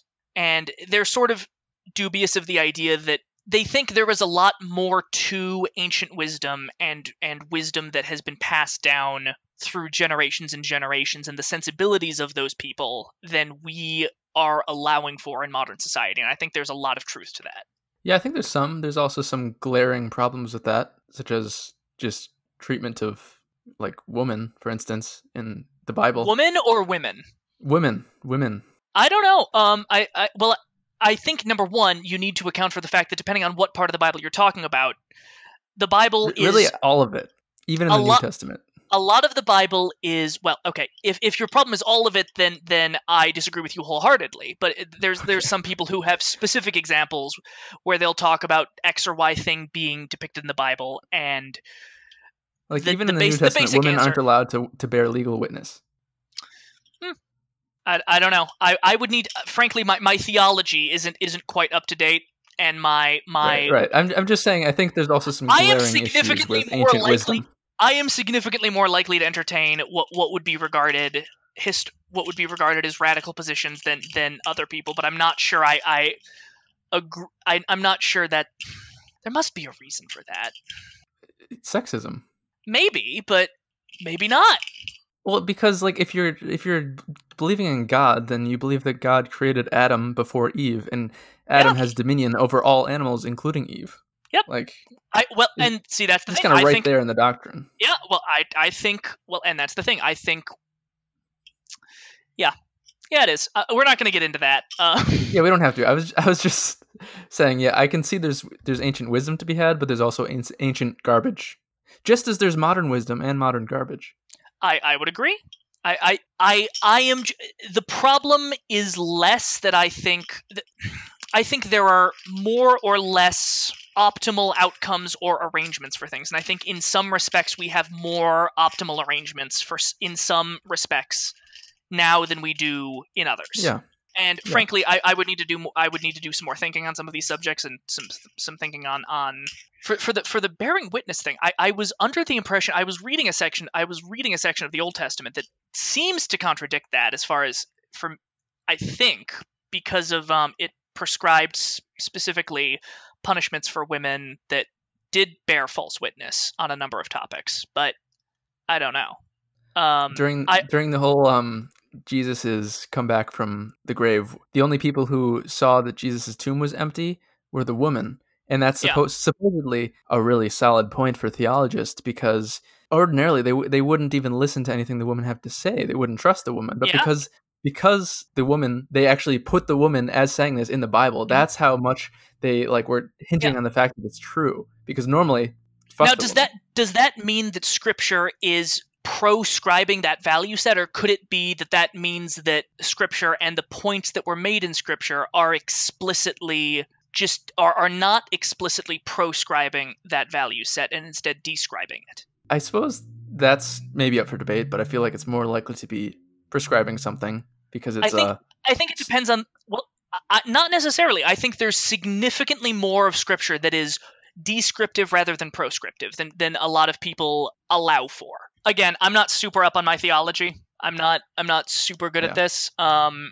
I, I think absolutely we have we have morally progressed in some areas but i i don't think there is such a thing as obj- well I, i'm not sure about this. I, I know a lot of people that i regard as very intelligent who are very dubious of the idea of objective moral progress and are very cautious of saying that we are more enlightened now than we were 2000 years ago. We I suppose we don't have to talk about the moral progress thing for a long time, but I guess what I would say to that is I feel like if people are making the claim that or at least they're dubious of the fact that we haven't made objective moral progress, then I think it's likely that they either are moral relativists or they have some very very messed up version of moral objectivism in their head such as the fact that they're angry that women now have more equal rights. Or or well uh, the the people that that I am the most likely to encounter having said this are the people that regard abortion and the amount of abortion that takes place in the United States as one of the greatest societally instituted evils to have ever happened. I do know a few people like that who abortion is their basically only concern. They will, if as long as a president is anti-abortion, they will vote for them, no matter what else that president stands for. So I, I, think there's that. a I, I think if you I think there's a case to be made for that. In fact, I probably would agree with that. If if you regard a fetus as morally equivalent to and equal of the and worthy of the same moral consideration as as a born human being, then abortion is effectively murder of, of millions and millions and millions of people every year that it that, that's systemically protected in a way that that that person if they believed that set of presuppositions which frankly I think I do would is um required or or if I legitimately believe that to be the case it is incumbent upon me to do everything within my power to stop that from happening Yeah, but then I wonder how much of, or like what the abortion rates throughout history are, because obviously abortion has been happening, not just since Roe versus Wade, but it's been happening. but- so I wonder if it's always been happening at the same kind of rate? no, it, hasn't always been happening at the same kind of rate. It, it explicitly has not. Do you know what the the rate is now? Is that something you're Um, well versed in? Abortion. Uh, I know what the rate is now in certain parts of the country, not necessarily in the whole of the country, but I know that there were more babies aborted in New York last year than there were born. And and what I know of the historical way abortion was practiced and the way that it was frowned upon and was in fact a legal offense, that it would be impossible for things to happen at that scale, particularly when you were significantly less likely to know you were pregnant before it was showing and obvious, then it, it would be logistically impossible for, for, for abortion to happen on that scale without the authorities knowing and there being explicit sort of logistical societal allowance for it. Right. So I feel like we've been talking about the critical race theory. I mean, not for the past 10 minutes, but we've been talking about Yeah. that for a while. Is there another aspect of critical theory that you take issue with? Oh, I mean, critical race theories is is the example that's most pressing because of you know the recent stuff that's been going on. But there's a there's a huge number of, of things that that um that I that I take exception to. A lot of them ultimately do boil. A lot of them have direct antecedent or direct examples that ultimately result to some degree or another in a lot of a lot of critical theory is how you treat and account for despair. A lot of the results of critical theory are problems with the way you account for and talk about historical disparity and modern disparity and how you construct narratives or particularly in history it's, it's about how you construct narratives about the past and whether or not you think it's possible to meaningfully reconstruct the past at all. And and there's a lot of really really troubling implications regarding critical theory and post-structuralism specifically such as um, here let me let me let me quote from this this section of my book that my my uh, book specifically on on critical theory that i highlighted which is that uh, post-structuralists and critical theorists argue that language as well as representing the world is creative of it. Language and texts as collections of signs are thus reconceived as a social and political force for which the entity for which no for which entity the term language is insufficient. Language in its multiple multiple meanings has therefore been replaced in post-structuralist parlance as discourse a linguistic unity of okay that's that's the wrong section that i just had. Okay no here. Taking account for post-structuralist theory therefore results in plural mutable readings and interpretations and much of the critique of post-structuralist incursions into traditional historical practices revolved around this issue. Fundamentally post-structuralism supports a relative a relativist position that destroys any claims to historical objectivity.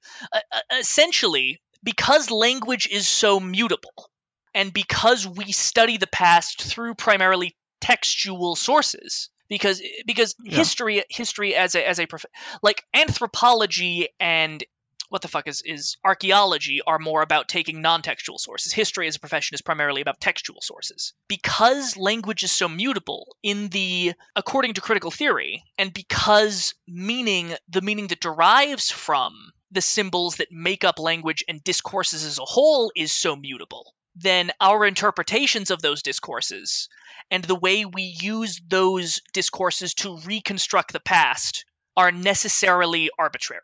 Like the way I interpret somebody's writing about the past to figure out what the past was like is arbitrarily based on my modern conception of language and therefore is a fiction of my construction. And there is no meaningful way to determine if my fiction is more or less accurate than somebody else's fiction. So are Is they sort of- entirely discounting history? Well, no, the stance that's taken then if if if everything is relative like that, then you need to construct history as a narrative that serves a certain social end. And uh, who was it that's basically um there was there was another historian talking about this this challenge of, of post structuralism and, and critical theory saying uh, historians are failures now and we can't we can't meaningfully reconstruct history in anything resembling a um resembling an objective way but we need to content ourselves with being happy failures. And I, and I think that's that's not useful and I think it it lends itself to and explains why so much of history has tended towards radical progressive narratives that discount the nuances of the subject and sort of lend themselves to the sort of oppressor versus oppressed version of history that's sort of become our mainstream understanding of a lot of issues. Now, that isn't to say that that that that that, that narrative is entirely without a place, because I think it it does have a place, but it's being sort of given a premium position and is being held up as sort of the standard narrative that can make up a lot of history. Do you have a different position in mind for a standard narrative? As I think as I, opposed I, to I don't think the press. Is there a different way to look at it that you think is I, I, more I'm well, and see that that's something that I'm I'm reflecting on. I'm not sure. I think it depends on where you are and what you're talking about. Um, I don't think critic critical theory in, will invariably result in that narrative, where I think a more nuanced or a more accurate and potentially useful historical mode of inquiry will net a significantly more varied set of narratives and understandings of the world based on the subject that it's studying. so like situationism kind of thing instead of uh if this were like moral instead of moral relativity it would be moral situationism where you have to account for the specific context of the situation to find out or to determine what's right or wrong I, I so then to determine what's That- right or wrong that's- historically that's- what's factually not- not- correct not not even that. What what I mean is what you need to understand is is ultimately historians do need to deliver what we what we research and what we explore in a narrative. We you can't Yeah. just spit out what all of this all of the data and research and primary source information that you've that you've given to that you've spent years and years researching for your book to the reader to to the person who wants to learn about history raw you you you historians are the cultural bards that take in this information and turn it into a meaningful narrative that then people parse and understand and interpret. And critical theory invariably results in one kind of narrative. And I think a different I think there are a variety of modes of or people who who invest too much in the because that's the thing. A lot of the people who people who accept too many of the axioms of critical theory and accept too many of the the presuppositions of critical theory will invariably end up with that narrative because I th- there are a lot of historians who are not explicitly historians that utilize critical theory. There are a lot of historians that use a little bit of critical theory here, but then accept X or Y base underlying assumption of critical theory, like uh, an idea of like radical constructivism or relativism or the placing of lived experience upon a pedestal. And that sort of, even though they they aren't necessarily taking part in critical theory as a whole or in any way that an academic would call like by the book critical theory, still has a net impact on their work and on the narrative that they produce to invariably result in an oppressor versus oppressed narrative. So you mentioned live ex- lived experience, and you already said before that you don't think lived experience should be perceived as more important than like empirical evidence. But what kind of weighting do you think lived experience deserves to have? Well, it it depends on what the what you're trying to do. I think lived experience is important to understand the But do you think it like it should have some like it's some importance, but not Absolutely. okay. it should have some importance. Um, there was a, I can I can leave. I can really quick run to run to my library, which is you know just like half a room away from me, where I've got all the books that I had to read last semester, and one of them was um, I think a sort of a both a good and bad example of what I'm talking about, where um this historian and it couldn't get it because of the way she wrote it couldn't get published in a academic journal or by an academic paper or by a university press, but was published by you know just a just a a non-academic publisher as a read essentially as an academic work by people who take her work seriously where and, and i can grab the book so i can remember the name of it um, if you'd like or we can just talk about it in the abstract if you'd like but i'm not sure listeners would want maybe, maybe listeners would want to know what i'm talking about and look at the book themselves and decide for themselves because i don't want to Yeah. Yeah, get the name. give, give me just a sec I'll, I'll run over there and i'll grab the book Well, there he goes.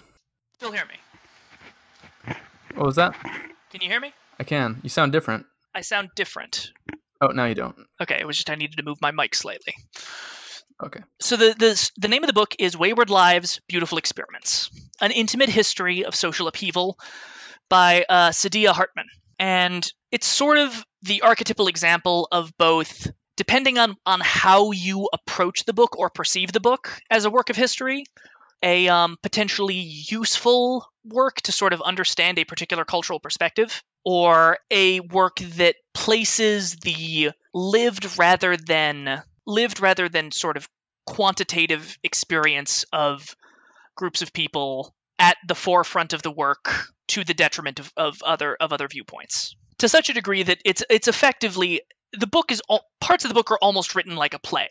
Essentially, um, the beginning of every section of the book has scenes with characters that are sort of some of them are real historical figures that did not actually show up or meet the fictional characters that the author is writing about and like like W.E.B. Du Bois, or um, she has like a, a, a chorus, like um, like like a, a traditional like Greek chorus. Yeah. She, like the, the beginning of the book has a list of cast of characters, and s- some of some of the work is like a legitimate analysis of, of the claims that she's making, but it, the problem is, and, and it does point to, and there are discrete individual pieces of the book that highlight really specific niche aspects of people's lived experience that can give you an understanding and an empathy for a group of people that had to deal with a specific set of problems in the past.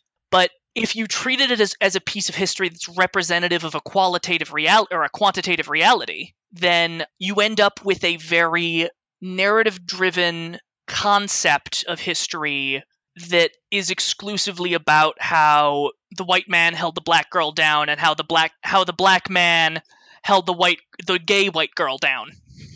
Or no the gay black girl down. How, how the black man held the gay lesbian black girl down. And that's not necessarily representative of or it's it's it's what I say. Now when I say historians need to need to tell narratives that is true but those narratives need to be nuanced and reflect a sort of the the much more multifaceted reality of what is going on than I think a lot of the lived experience narrative the, the narratives that are solely based on or primarily reflective of lived experience as sort of a source of evidence and as um as the textual and as the, the textual sources that you're using reflect then that methodology that, do you see any way that lived experience can become sort of quantitative evidence? Such as if thousands of people like when you when you take thousands or hundreds of thousands of very similar stories and you add them together that kind of makes the statistic. Maybe but uh, but the problem is when you're when you're using historical sources and like a, a lot of um a lot of the the sources that were used here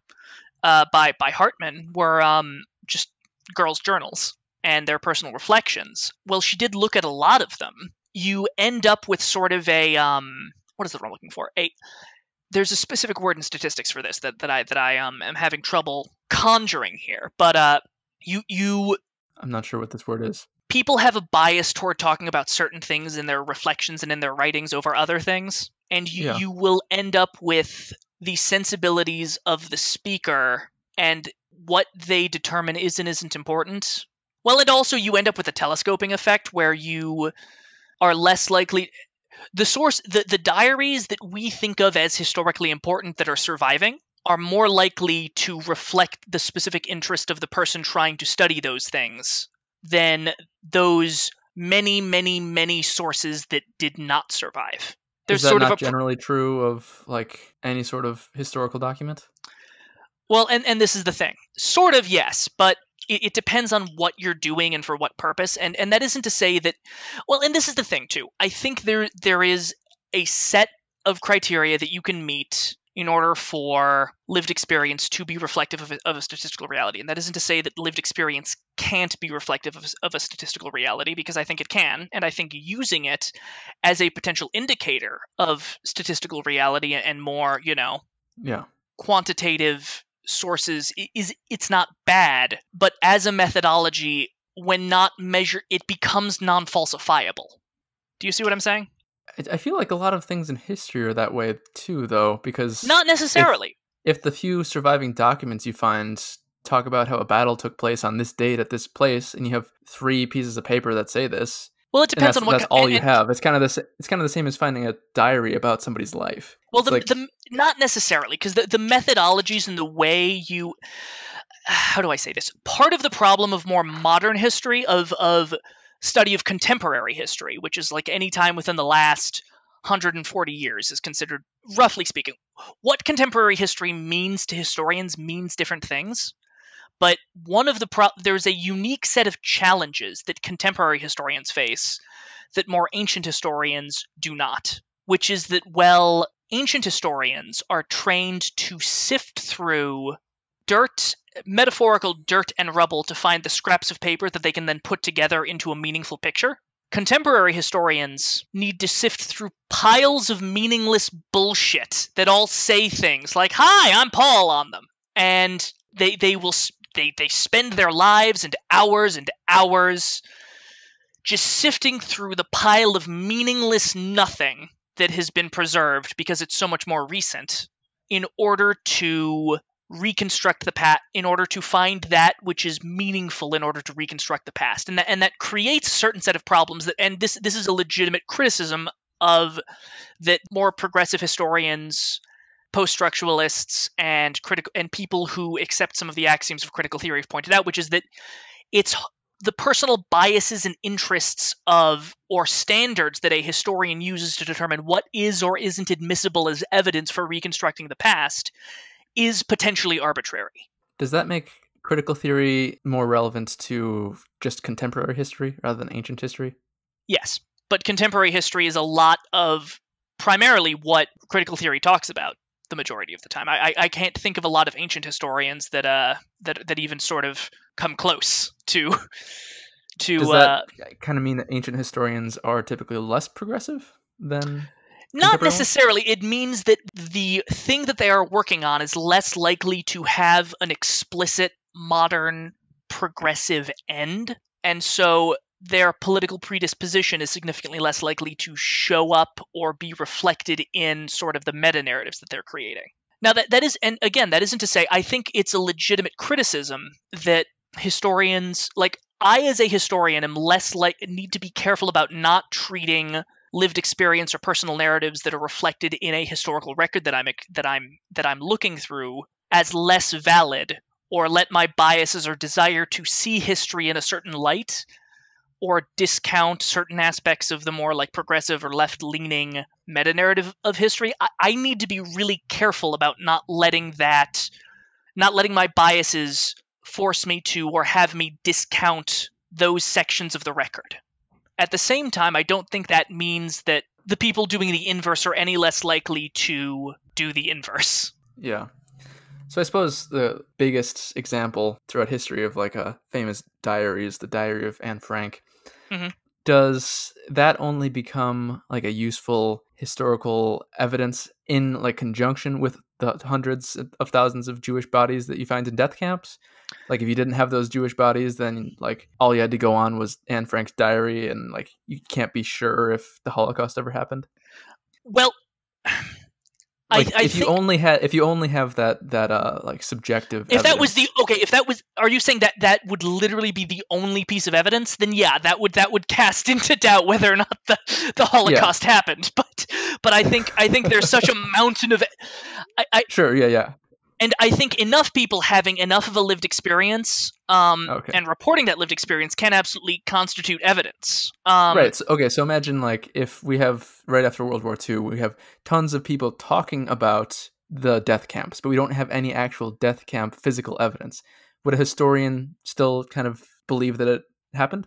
Do we have people that we can statistically verify have gone missing? Like th- there there are other places we can go, but I think right. it would definitely it would definitely serve as a viable lead to start like let's say the Nazis managed to just destroy all evidence of the death camps ever existing and managed to make it look like, you know, fully planted forests somehow. Yeah. There would there would be ways I think using the lived ex- the, the claims and the observations of people who lived through that horror to then verify that experience through other through other medium and other means. Does this become a problem? Like, does this compound throughout history? For instance, if in 400 years people are looking back on World War II, and now it kind of becomes like all this quantitative evidence was done by past historians, and that could itself be some subjective thing that somebody made up. Well, we the, what's different is once the 20th century rolled around, we as societies started being really goddamn anal retentive about recording stuff and having means of keeping that stuff recorded. I think based and so like today we still have a fuck ton of if not all of the prime immediate primary source evidence and like like written field reports by people who actively lived in the middle of who were actively in the middle of the Second World War. We practically have all of those field reports still recorded. I was digging through a bunch of those for my uh, master's thesis recently. Um, and a bunch of them are being and they're being digitized at an absolutely tremendous rate. Yeah. So not likely. So not it's it's not unlikely to either because doubt in the future. Yeah, the, the, I think the problem in the future is going to be more what evidence do we trust and how do we and how do we trust this evidence over this other evidence? And that is a problem. And but i don't think that means that the, that the history that we do does not need to be approached rigorously and approached in a way that allows for some body of evidence to like the problem isn't when i say something needs to be falsifiable what i mean is there needs to be some hypothetical piece of information that you can get that would contradict the narrative that you produced. Yeah, but even even then, you could have a falsifiable diary. You, no, no but, Jane. yes, uh, what, what, I'm not saying, what I'm saying isn't that here. I, I you might be missing the point, or maybe I'm missing the point that you're about to make. But l- let me let me kind of get through it, and then we'll then we'll figure sure. out who's being the asshole here. It might be me. It probably is me, but we'll figure it out.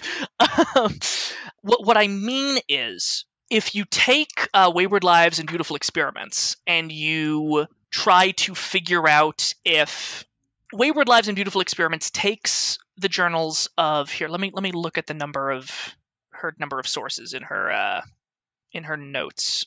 She she each of her characters sort of represents the the meta.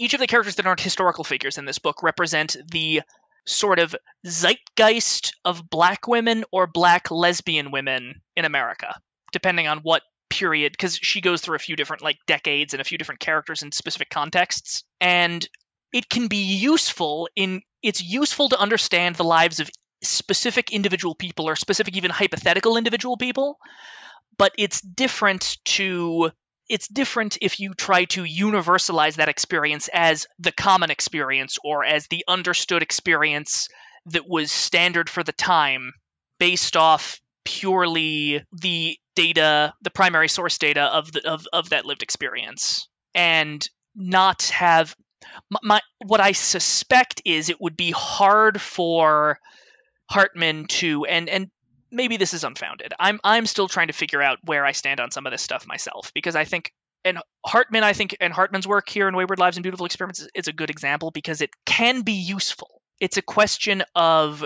how reflective of objective reality something needs to be to be understood and i don't think it needs to be entirely reflective but i think it needs to, we need you need to be careful about integrating subjective lived experience that isn't subjective lived experience can be a good way to personalize and contextualize the nature of human suffering or human experience. But I don't think yeah. by itself or without sufficient alternative sources, it can stand on its own as a means of reconstructing reality accurately.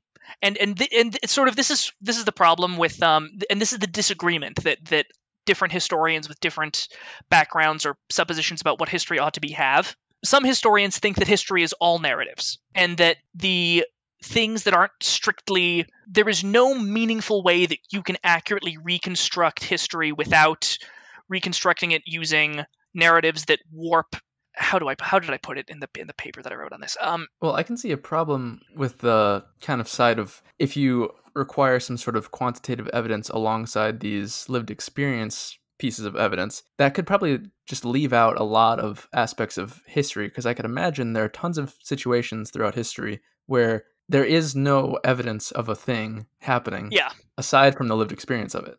Like just because people wouldn't wouldn't be recording in in an empirical way what happens to lesbians in 1700s mm-hmm. so then the only word you've got to go on is what the lesbians had to say. Yeah. Yeah fair. And to, um, and to, to, to discount that just because you don't have any quantitative evidence seems kind of absurd. I, I would agree. I, I I would agree with that. what I suspect is what I would say is you, you do have quantitative evidence about the laws. We you would have quant because Wayward Lives and Beautiful Experiments starts in like 1910. It doesn't go back that far, but I think there are significant there there are significantly more those those lived experiences are important and need to be measured, but they need to be measured and understood alongside and contextualized within. And it needs to happen both ways, but how do I put this? You need to be open to your narrative being wrong or having or having pieces of evidence that contradict certain nuances of your narrative. And yeah, that's definitely true. Generally speaking, academia and history today is very open to the challenging of one kind of narrative and is very hostile toward the challenging of another kind of narrative. And that isn't to say that the narrative that's being produced the narr- I think I would I would be significantly less concerned about critical theory if there was more room in academia for it to be criticized. And right now there just isn't. Right now you don't the humanities have basically been taken over by people that taken over implies hostile intent. People historians who the humanities in general, I should say, are very positively inclined toward critical theory. And you are very unlikely to make it far or be published or be taken seriously at all trying to criticize the conclusions arrived at by people that apply sort of post structuralist logic or critical theory as a whole. I did, yeah, I did have some questions about that aspect of it, like the long march through the institutions kind of thing. Um, mm-hmm. Well, I first, why do you think that is? Is it kind of like a, just like you said, if you're going to be a historian, you feel pressured to to view history from this lens in order to be successful? If you want to be published, yes, and if and it's all about being published. To be taken seriously, you need to be published by an academic journal. So then, rather than being some sort of change of mindset from within, because like you actually just decided to look at history through critical theory you are doing it from like an outside influence? Is that what's happening? Or the only people who or the only people who are allowed to meaningfully be successful at this point are the people who unabashedly believe in critical theory. And well and, and these... it, and it depends on what subset of history you're working in but history overall particularly social history is ruled by that approach. And do you think i mean obviously people are wrong all the time. But what do you think? Like all these people have gone to college and they've spent their lives studying stuff. Is it really all that likely that all of them or the majority of them are just wrong? Well, it depends on what you mean by wrong, but I, I, I don't think people believing things. I think intellectuals have a very long history of being very wrong about a lot of things. And I think there are some ideas that are so absurd or that I think there are some ideas that are so absurd only intellectuals and academics could could yeah, could believe before. them. So it's just a fashionable idea, and it's it's a fashionable standard that aligns with a set of progressive values that that academia overall has been predisposed toward for a long time, but has sort of come to a fruition in the last two or three decades. Yeah, I, I could see like I, I get how people are wrong all the time uh, about things, but on the one hand, then I, it kind of seems like strange to me that so many people in academia would be progressive that like it's it seems like to almost need a different explanation. Well, that wasn't always the case. Right. It used when, to be. Is there a time when like when do you think that transition? Well, in, in the in the 1910s and 20s, academia was very conservative, like socially conservative, politically conservative. You had a, a lot of almost every major surviving university or or academic institution today started out as a seminary. What do you think changed that? Did they realize that eugenics was a bad idea? Well, no. It, then... well, a- actually, it was progressives were actually the primary proponents of, of eugenics back in the day. It was it was an idea that was associated with social progressivism. I, I, think it's there is a tendency for people to understand history, and, and this isn't to say the Nazis were the Nazis were secretly left wing or whatever. That's that's not what I'm saying. What what I'm saying is our idea of what constitutes left and right in the modern context is warped by definitions that sort of preclude the left from being the bad guys in, in, in a kind of sneaky way. Yeah, I could see that, I guess, because the very essence of conservatism is to re- to be against change. I disagree. Well, So- it, de- it depends on what You you, mean by conservative. Well, it depends. The word conservative strictly and cons- and people. who- The word conservative does strictly mean that, but I think rather than being against change, people that we have historically classified as conservative, not all, but a large portion of them, it's not that they disagree or it's not that they don't want change, it's that they want a very different kind of change than the people we would classify as progressives They want to change back.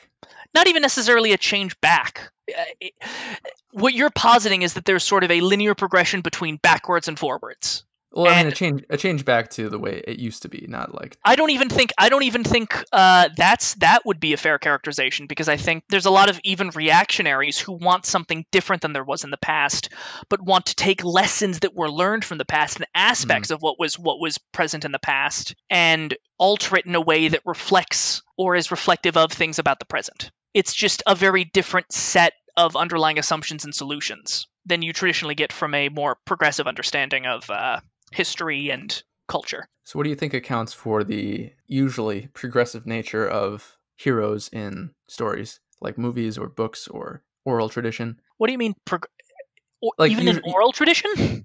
Usually, like heroes of stories are, you know, fighting for like the disadvantaged or the common man, or they're like they're Well, fighting for the disadvantaged could well be a conservative value. It's a question of whether or not. I think. I think heroes as agents specifically of change in sort of cultural meta narratives is a much newer phenomenon. I you think that's, primarily uh, the result. I think that's. No, I don't sneaky think that's part of this. I, well, and, and this is the thing. I don't think it's sneaky. I don't think there's a cabal of people intentionally doing this. I Right. think there's, I think there's a web of ideas that have gradually morphed over time that people earnestly believe in, and they're not being secret about it. They're not trying to hide it. It's just they have certain implications that I think the majority of the people who accept the axioms do not understand, and the people that do accept the axioms aren't necessarily being sneaky, but they're obtuse. Is that not any less true for I don't know both sides of any sort of political disagreement? That most of the people don't fully understand the implications. maybe but to an extent yes i'm not even sure about that. My my my perception is is that the the axioms that sort of make up reactionary or right-wing thought are significantly more self-explanatory or or are significantly less if not self-explanatory significantly less revolutionary. The there's a difference between re- change does not necessitate revolution and um, the way we conceptualize change and the way we conceptualize whether or not it's positive or negative and the way we then interpret whether or not revolution either ideological cultural economic social is justified or not the the progressive the progressive assumption seems to be that change needs to come through revolution. And i think it's it is a result of a changing meta narrative that is sort of the natural end result or progression of liberalism. And this is the thing i, I li- I think liberalism. There's a lot of things that liberalism gets right, but I think there's a lot of things that liberalism got and continues to get very, very wrong. Some of the underlying sort of axiomatic assumptions about humanity, like such that as like like what? when people can one of the like presuppositions that was like explicitly written during the French Revolution is that people when they gather together are capable of being rational and acting rationally and voting rationally and doing so well identifying what their own interests are and what would be good for them. Yeah, I definitely agree with that. I think that's untrue. I think that's patently untrue. Yeah, and I mean in the same way, not entirely related, but in the same way, I feel like capitalism itself rests on those same notions that people know stuff, like they have access to the information, and they know what's best for them, and neither of those things are true. I think maybe. Frankly, I, I'm a lot less wedded to like neoconservative or or neoclassical, classical or neoclassical economics than I used to be. I think yeah, I that's possible. because it seems to me that a lot of the more conservative side people are usually more in favor of capitalism than progressives are. Yeah, I think that's possible. What I suspect, I think it's possible that that's true. Although, what I would, as just kind of an off the top of my head counterpoint, it seems to me not that um that number one, capitalism isn't necessarily an ideology, and when we talk about it as an ideology, that's actually kind of taking part in a pseudo progressive, pseudo Marxist discourse. Capitalism isn't necessarily an ideology or reflective of an ideology, it's a utilitarian way of organizing things. And it's only utilitarian insofar as it results in better outcomes than the alternative. And there are a few alternatives that I'm willing to entertain other than like a free market that I think could potentially work, or there are limitations that can be put on the free market that could potentially work. I'm a lot less wedded to the idea that, that a free market is by itself like a functional thing that just works perfectly and magically. But I think it's definitely possible, and I think a case has been made, has meaningfully been made. Particularly, Sowell actually, another book that he wrote, Basic Economics, is, makes a really good case of this. I'm not sure I wholly agree with him. I would need to read some some more works to the contrary to uh, meaningfully come to a conclusion in that regard, because economics really isn't my my forte. I just like the way Sowell writes. I think there is a case to be made that the results that well people aren't can't meaningfully identify what is good for them when they aren't trying to do so collectively and their collective intentions are not the thing driving the whole of society, the degree to which that's a problem are different. Yeah, but like the classical liberal weren't entirely democratic. That's why we, you know, live in a democratic republic is because there's a certain realization that yeah, people can't or don't know what's best for them, so that we have to institute people who are responsible for knowing those things to an extent, yes, and I think the United States has this problem significantly less than a lot of European countries. To an extent, yes, but I think that the problems endemic to I'm I'm not sure whether or not I think democracy is a bad thing, but I do know that we tend to invoke democracy as an absolute moral imperative when I think there is sufficient evidence that it is not an absolute moral imperative and has significantly greater pitfalls than we necessarily allow for allow for in our models. And I think in the specific feedback system, free markets as a means of understanding and organizing organizing the distribution of scarce resources that have alternative uses. One of the things that's good about it is that people have very immediate and consistent means of giving feedback to the system. And also that the results of the feedback that they give are significantly more clear and are allowed to be significantly more based on personal taste. Where the incentives for politicians are very different. They're very irregular and they are also very likely to politicians are significantly more likely to run on what is popular rather than what works. Where if something ultimately doesn't work and you buy it, you are significantly more likely to know that than you are to be able to. If, if I buy even a complicated machine, right, that I don't understand how it works, my computer, if I bought my computer without building it, or even if I tried to build it and it didn't work, I would know that it doesn't work, right? Okay. When you vote for a politician that institutes rent control, which I think is one of the most obviously and objectively failed policies that is still commonly practiced across the United States. You don't have the means of observing whether or not that policy that you voted for meaningfully worked and are significantly more likely to and your emotions are significantly more likely to, to make you like the emotional feedback of voting for that thing and the narrative that is constructed around voting for that thing and therefore you aren't necessarily getting the feedback of whether or not the thing that you just purchased meets the requirements the same way the thing that you just voted for it's hard to measure whether or not that thing meets the requirements apart from how it impacts your sense of narrative and place in sort of wider political tribalism and i think in capitalism you are significantly more likely to be able to measure whether or not something meets the standards that you would like them to meet Sure. But like with capitalism, the ideology there is in believing that a free market works. And you could still have. Well, it depends on what you mean by works. You could still have a system that's like generally using capitalist ideas of instant feedback, like you were talking about, giving your money to people for things. And then if what you got in return was of value to you, then you do it again. Mm-hmm. But without all the pitfalls of a free market system that such as can, well, such as the tendency toward monopoly is probably the biggest one. Because if you start in an initial state of capitalism, I'm not sure. I'm not sure there is a sand. Well, okay, th- th- and this really depends. I and this isn't to say that I don't think most neoclassical economists are absolute free marketeers. I think I think. Right. I think the like pillars of ne- not classical but neoclassical economics are significantly more open to certain kinds of government intervention in specific situations and regulations that than is allowed for. It's just the kind of regulations and the me- and the times in which the regulation should happen are significantly more specific. Um, like Milton Friedman called for a universal basic income.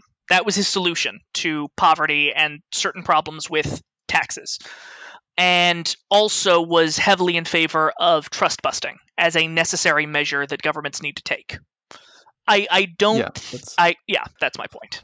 Well, yeah, then I agree with you there. I think I I think that isn't to say that democracy doesn't work or or we should abandon democracy, but that is to say that some of the presuppositions that we have about democracy and sort of lib- liberalism, the, the the fruits that liberalism has borne as a whole, might have more problems than we grant. And in fact, I it's possible that sort of liberalism's metaphysic base the sort of drive that gave birth to the ideology in the first place is so wrapped up in a problem and a context that is so is now foreign to us that it's bound to be corrupted which is that it, in my estimation liberalism is is bound up in ideas of uh, monarchy. It's it's uh, liberalism is is bound up in in anti-monarchism as sort of its base founding metaphysic. And i think that that might make the fruits that liberalism bears likely to be corrupted toward radical progressive ideology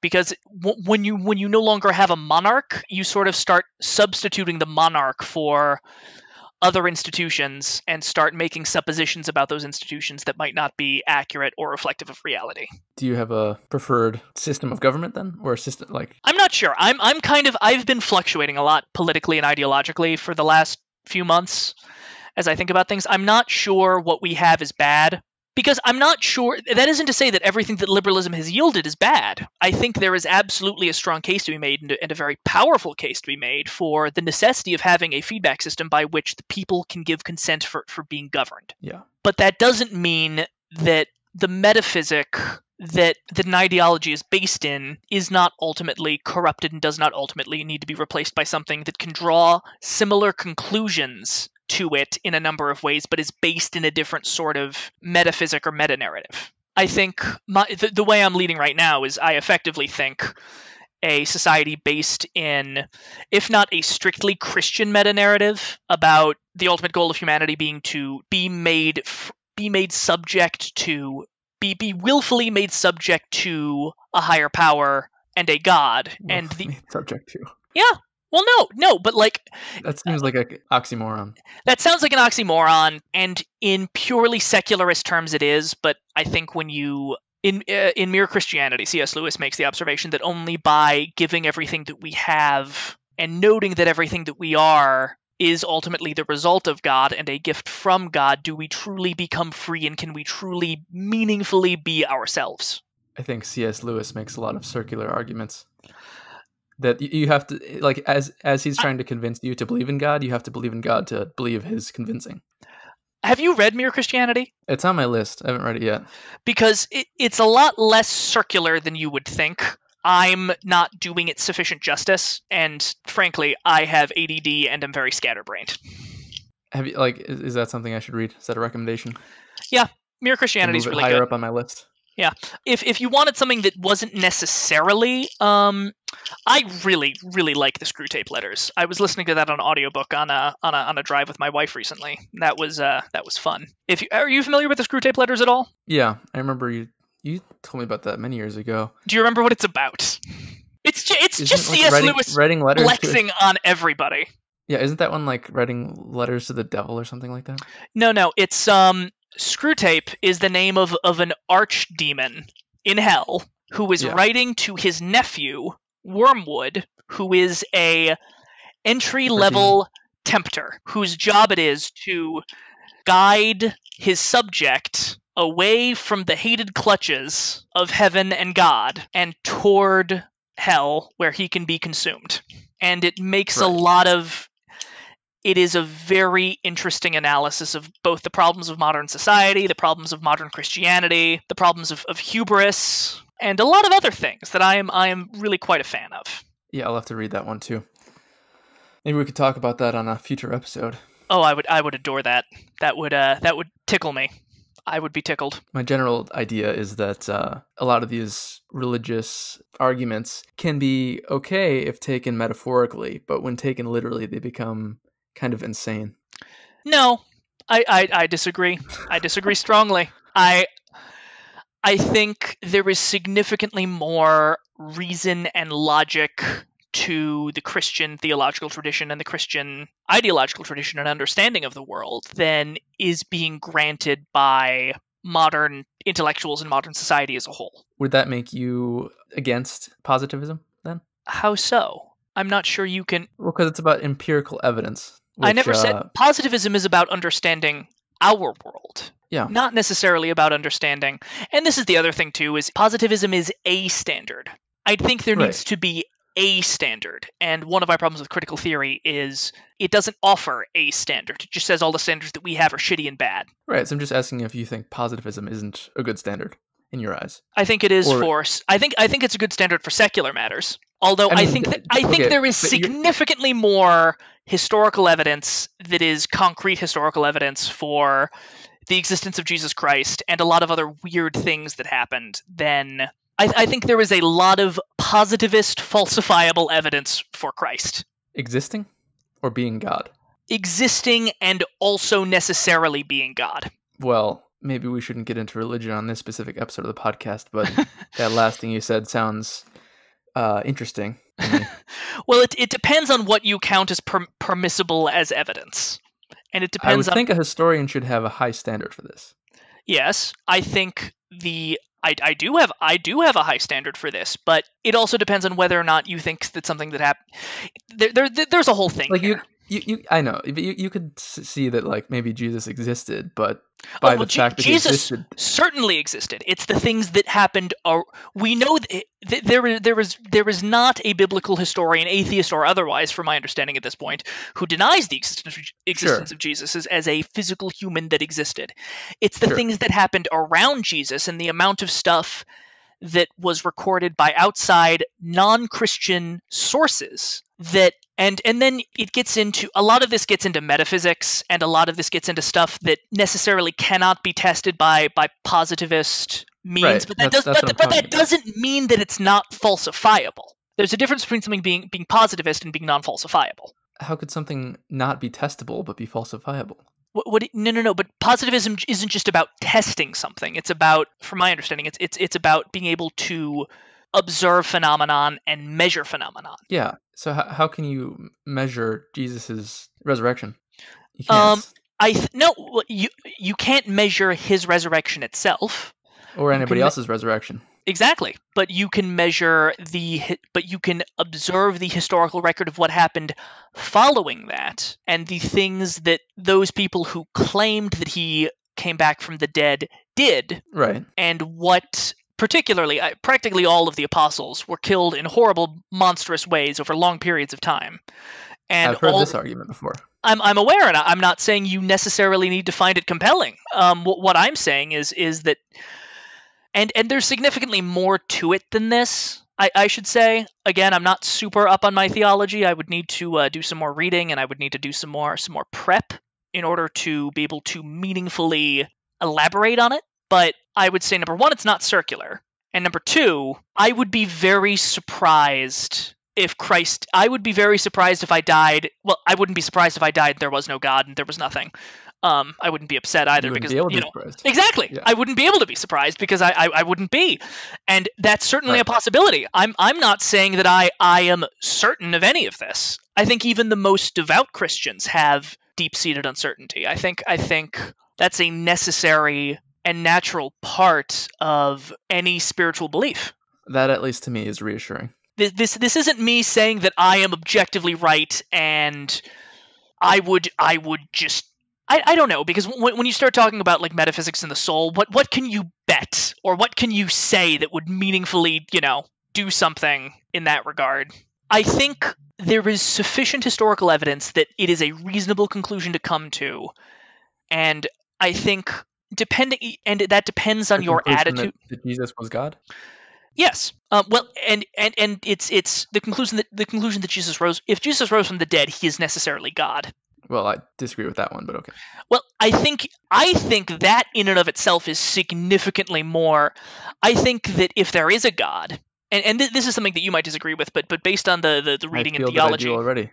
but but I think that if there is a God, and I think we spoke about this that one time I was high on mushrooms. but if if if there is a God, he is necessarily if there is a God of any description, a prime mover, a force, he is necessarily the God described in the in the Bible, or at least the Bible comes the closest to meaningfully describe him compared to any other religious text. I don't see how anyone could gather that conclusion.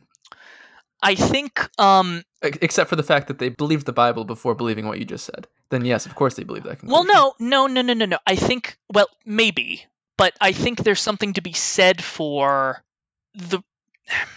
I came to this conclusion after reading uh, Kierkegaard and his sort of the, the, the Christian Christian His his whole idea was was to believe because it is absurd to believe. to an extent, yeah. So he was basically rejecting rationality. He wasn't rejecting why I was at- rationality. He was embracing existentialism. It- It's a di- it's a different kind of absurd. Existentialist Right. philosophy is a, is a whole different yeah. thing, and, and what qualifies as the absurd Yeah. is and and what constitutes the absurd and why something meets the criteria of being absurd is a whole different thing in in existentialist philosophy and there's kind of a whole theological thing around i think there is a tradition of christian apologism compared to other religions not having the same thing because christianity necessarily gives rise to and places value in the truth. If it was true that there was no god and there was a way to prove that objectively there the moral christian thing would be to give in to that assertion. I think christianity feel like, allows though, that i think christianity allows itself to be subjected to and tested by certain standards of evidence and certain certain certain means outside of itself more than any other faith in history and i think that that speaks to its credit and i think there is a i would need to do some more reading on this subject but there's sort of a what seems to make sense to me a a and many of the people who one of the reasons I'm I'm I'm as convinced by C.S. Lewis as I am and find his arguments regarding because he makes that argument I believe in mere Christianity. It's been a few years since I've read it, and I came to that conclusion more or less after I read it. And c- I will that in sure combination with read all of his books. not all of his books. You don't have to read all No, of his no. books. He's, he's written a No, lot. no, I I know. I've I've been planning for a while to read all of his books and make a debunking video about them. Really, Yes, I I crazy. really Oh yes, really. Uh, he, he's a he's a great writer. I love I love Narnia and I love his his letters. But most people can, can be intelligent and crazy at the same time. you are aware that he was an ardent atheist for the majority of his life. Oh yeah, that doesn't make him any less crazy. Might make him more actually. Crazy. Uh, on, on what grounds? Okay, if I told you that I believe in a fluffy pink unicorn whose name is Charlie and he tells me what to do, would you think I'm crazy? Is there historical evidence for the existence of Charlie? I think so. Really? Uh, Or even if there wasn't. Are you saying there needs to be historical evidence of God to believe in God? there needs to be historical evidence of Jesus to believe in Jesus. Would you not believe in God then without Jesus? Probably not. No. I feel like that kind of takes away all of the credits or all of the um, faith that Christianity so admires. Christianity isn't do- about blind. It's not about blind faith, though. There's a difference between blind. I think your idea of what Christianity is is informed by a very, and this isn't this isn't me criticizing you exclusively. I think there's a very shallow evangelical tradition in the United States that sort of precludes itself from the sort of and and is there's a fucked up shallow American Christian evangelical tradition that Sure. I I am I despise and that sort of makes up or comprises your understanding of what constitutes Christian belief and standards. But if you have evidence, then you can't have faith because you don't need it anymore. N- that's not true because evidence points to a likely conclusion or a body of likely conclusions. Yeah, sure. And also Which is still different from faith because you can you can like have 99% confidence in what you believe and then I feel like faith is that extra 1% of taking it to the illogical limit. I dis- well, number one, I think you need to what needs to be appreciated is uh, some of the context around Christian faith and some of the underlying assumptions regarding Christian faith, which is that Christian moral suppositions are meaningless unless there is a god, I or are me- that. I understand that you reject You, that. you can still you can still have morals if you take these things metaphorically. No, no, no, no. I'm not saying you can't have morals. What I'm I'm saying Well, then how a they Christian set no what I'm saying is a Christian set of moral suppositions is based on I'm saying in order to come to those conclusions from a like Christian angle. It, it- to Okay. people arrive at conclusions by walking down logical pathways, right? Like Yeah. you, you pick a path and then you walk down it and you find things along that path Sure. in order in order for christian more a christian moral understanding of the world to be accurate requires that there be a god and requires that that god be a trinity and yeah. and all of that and Yeah. once that no longer becomes true you need to create an entirely new metaphysic base upon which your moral considerations are built and Sure. if you frankly i'm not sure i'm equipped to have this conversation meaningfully and make and make and meaningfully defend it at this point No, that's all right. I mean, we kind of got off topic anyway. yeah we did I always just find talking about religion and theology interesting, especially with people who disagree with me. Hmm. Anyway, we've been recording for about almost three hours. yeah i see that Do you have any final thoughts before we conclude this episode? yeah yeah i would um i would say i don't think critical theory is bad for the sake of being bad i think critical theory as a tool to examine the claims of other ideologies or of other means of discerning reality and other historical or sociological methods is a necessary part of being rigorous i think when taken on its own and when accepting the and when accepting many of the axiomatic underpinnings of critical theory you end up with entropy. By itself, critical theory is an intellectually entropic force. It will it will lead to the heat death of intellectualism. I think. All right. How's how's that for a for a for a final word of wisdom? I think that's pretty good. Yeah. Th- thanks for joining me on episode three Yeah, of this we, podcast. we should we should talk a little bit after this is done to so that we can talk about what you what you think about all this bullshit that I just said off the air. oh, yeah, sure. Yeah, we should we should can do that. Well, thank you for listening. Thanks, Nate, for coming on. Oh, my pleasure.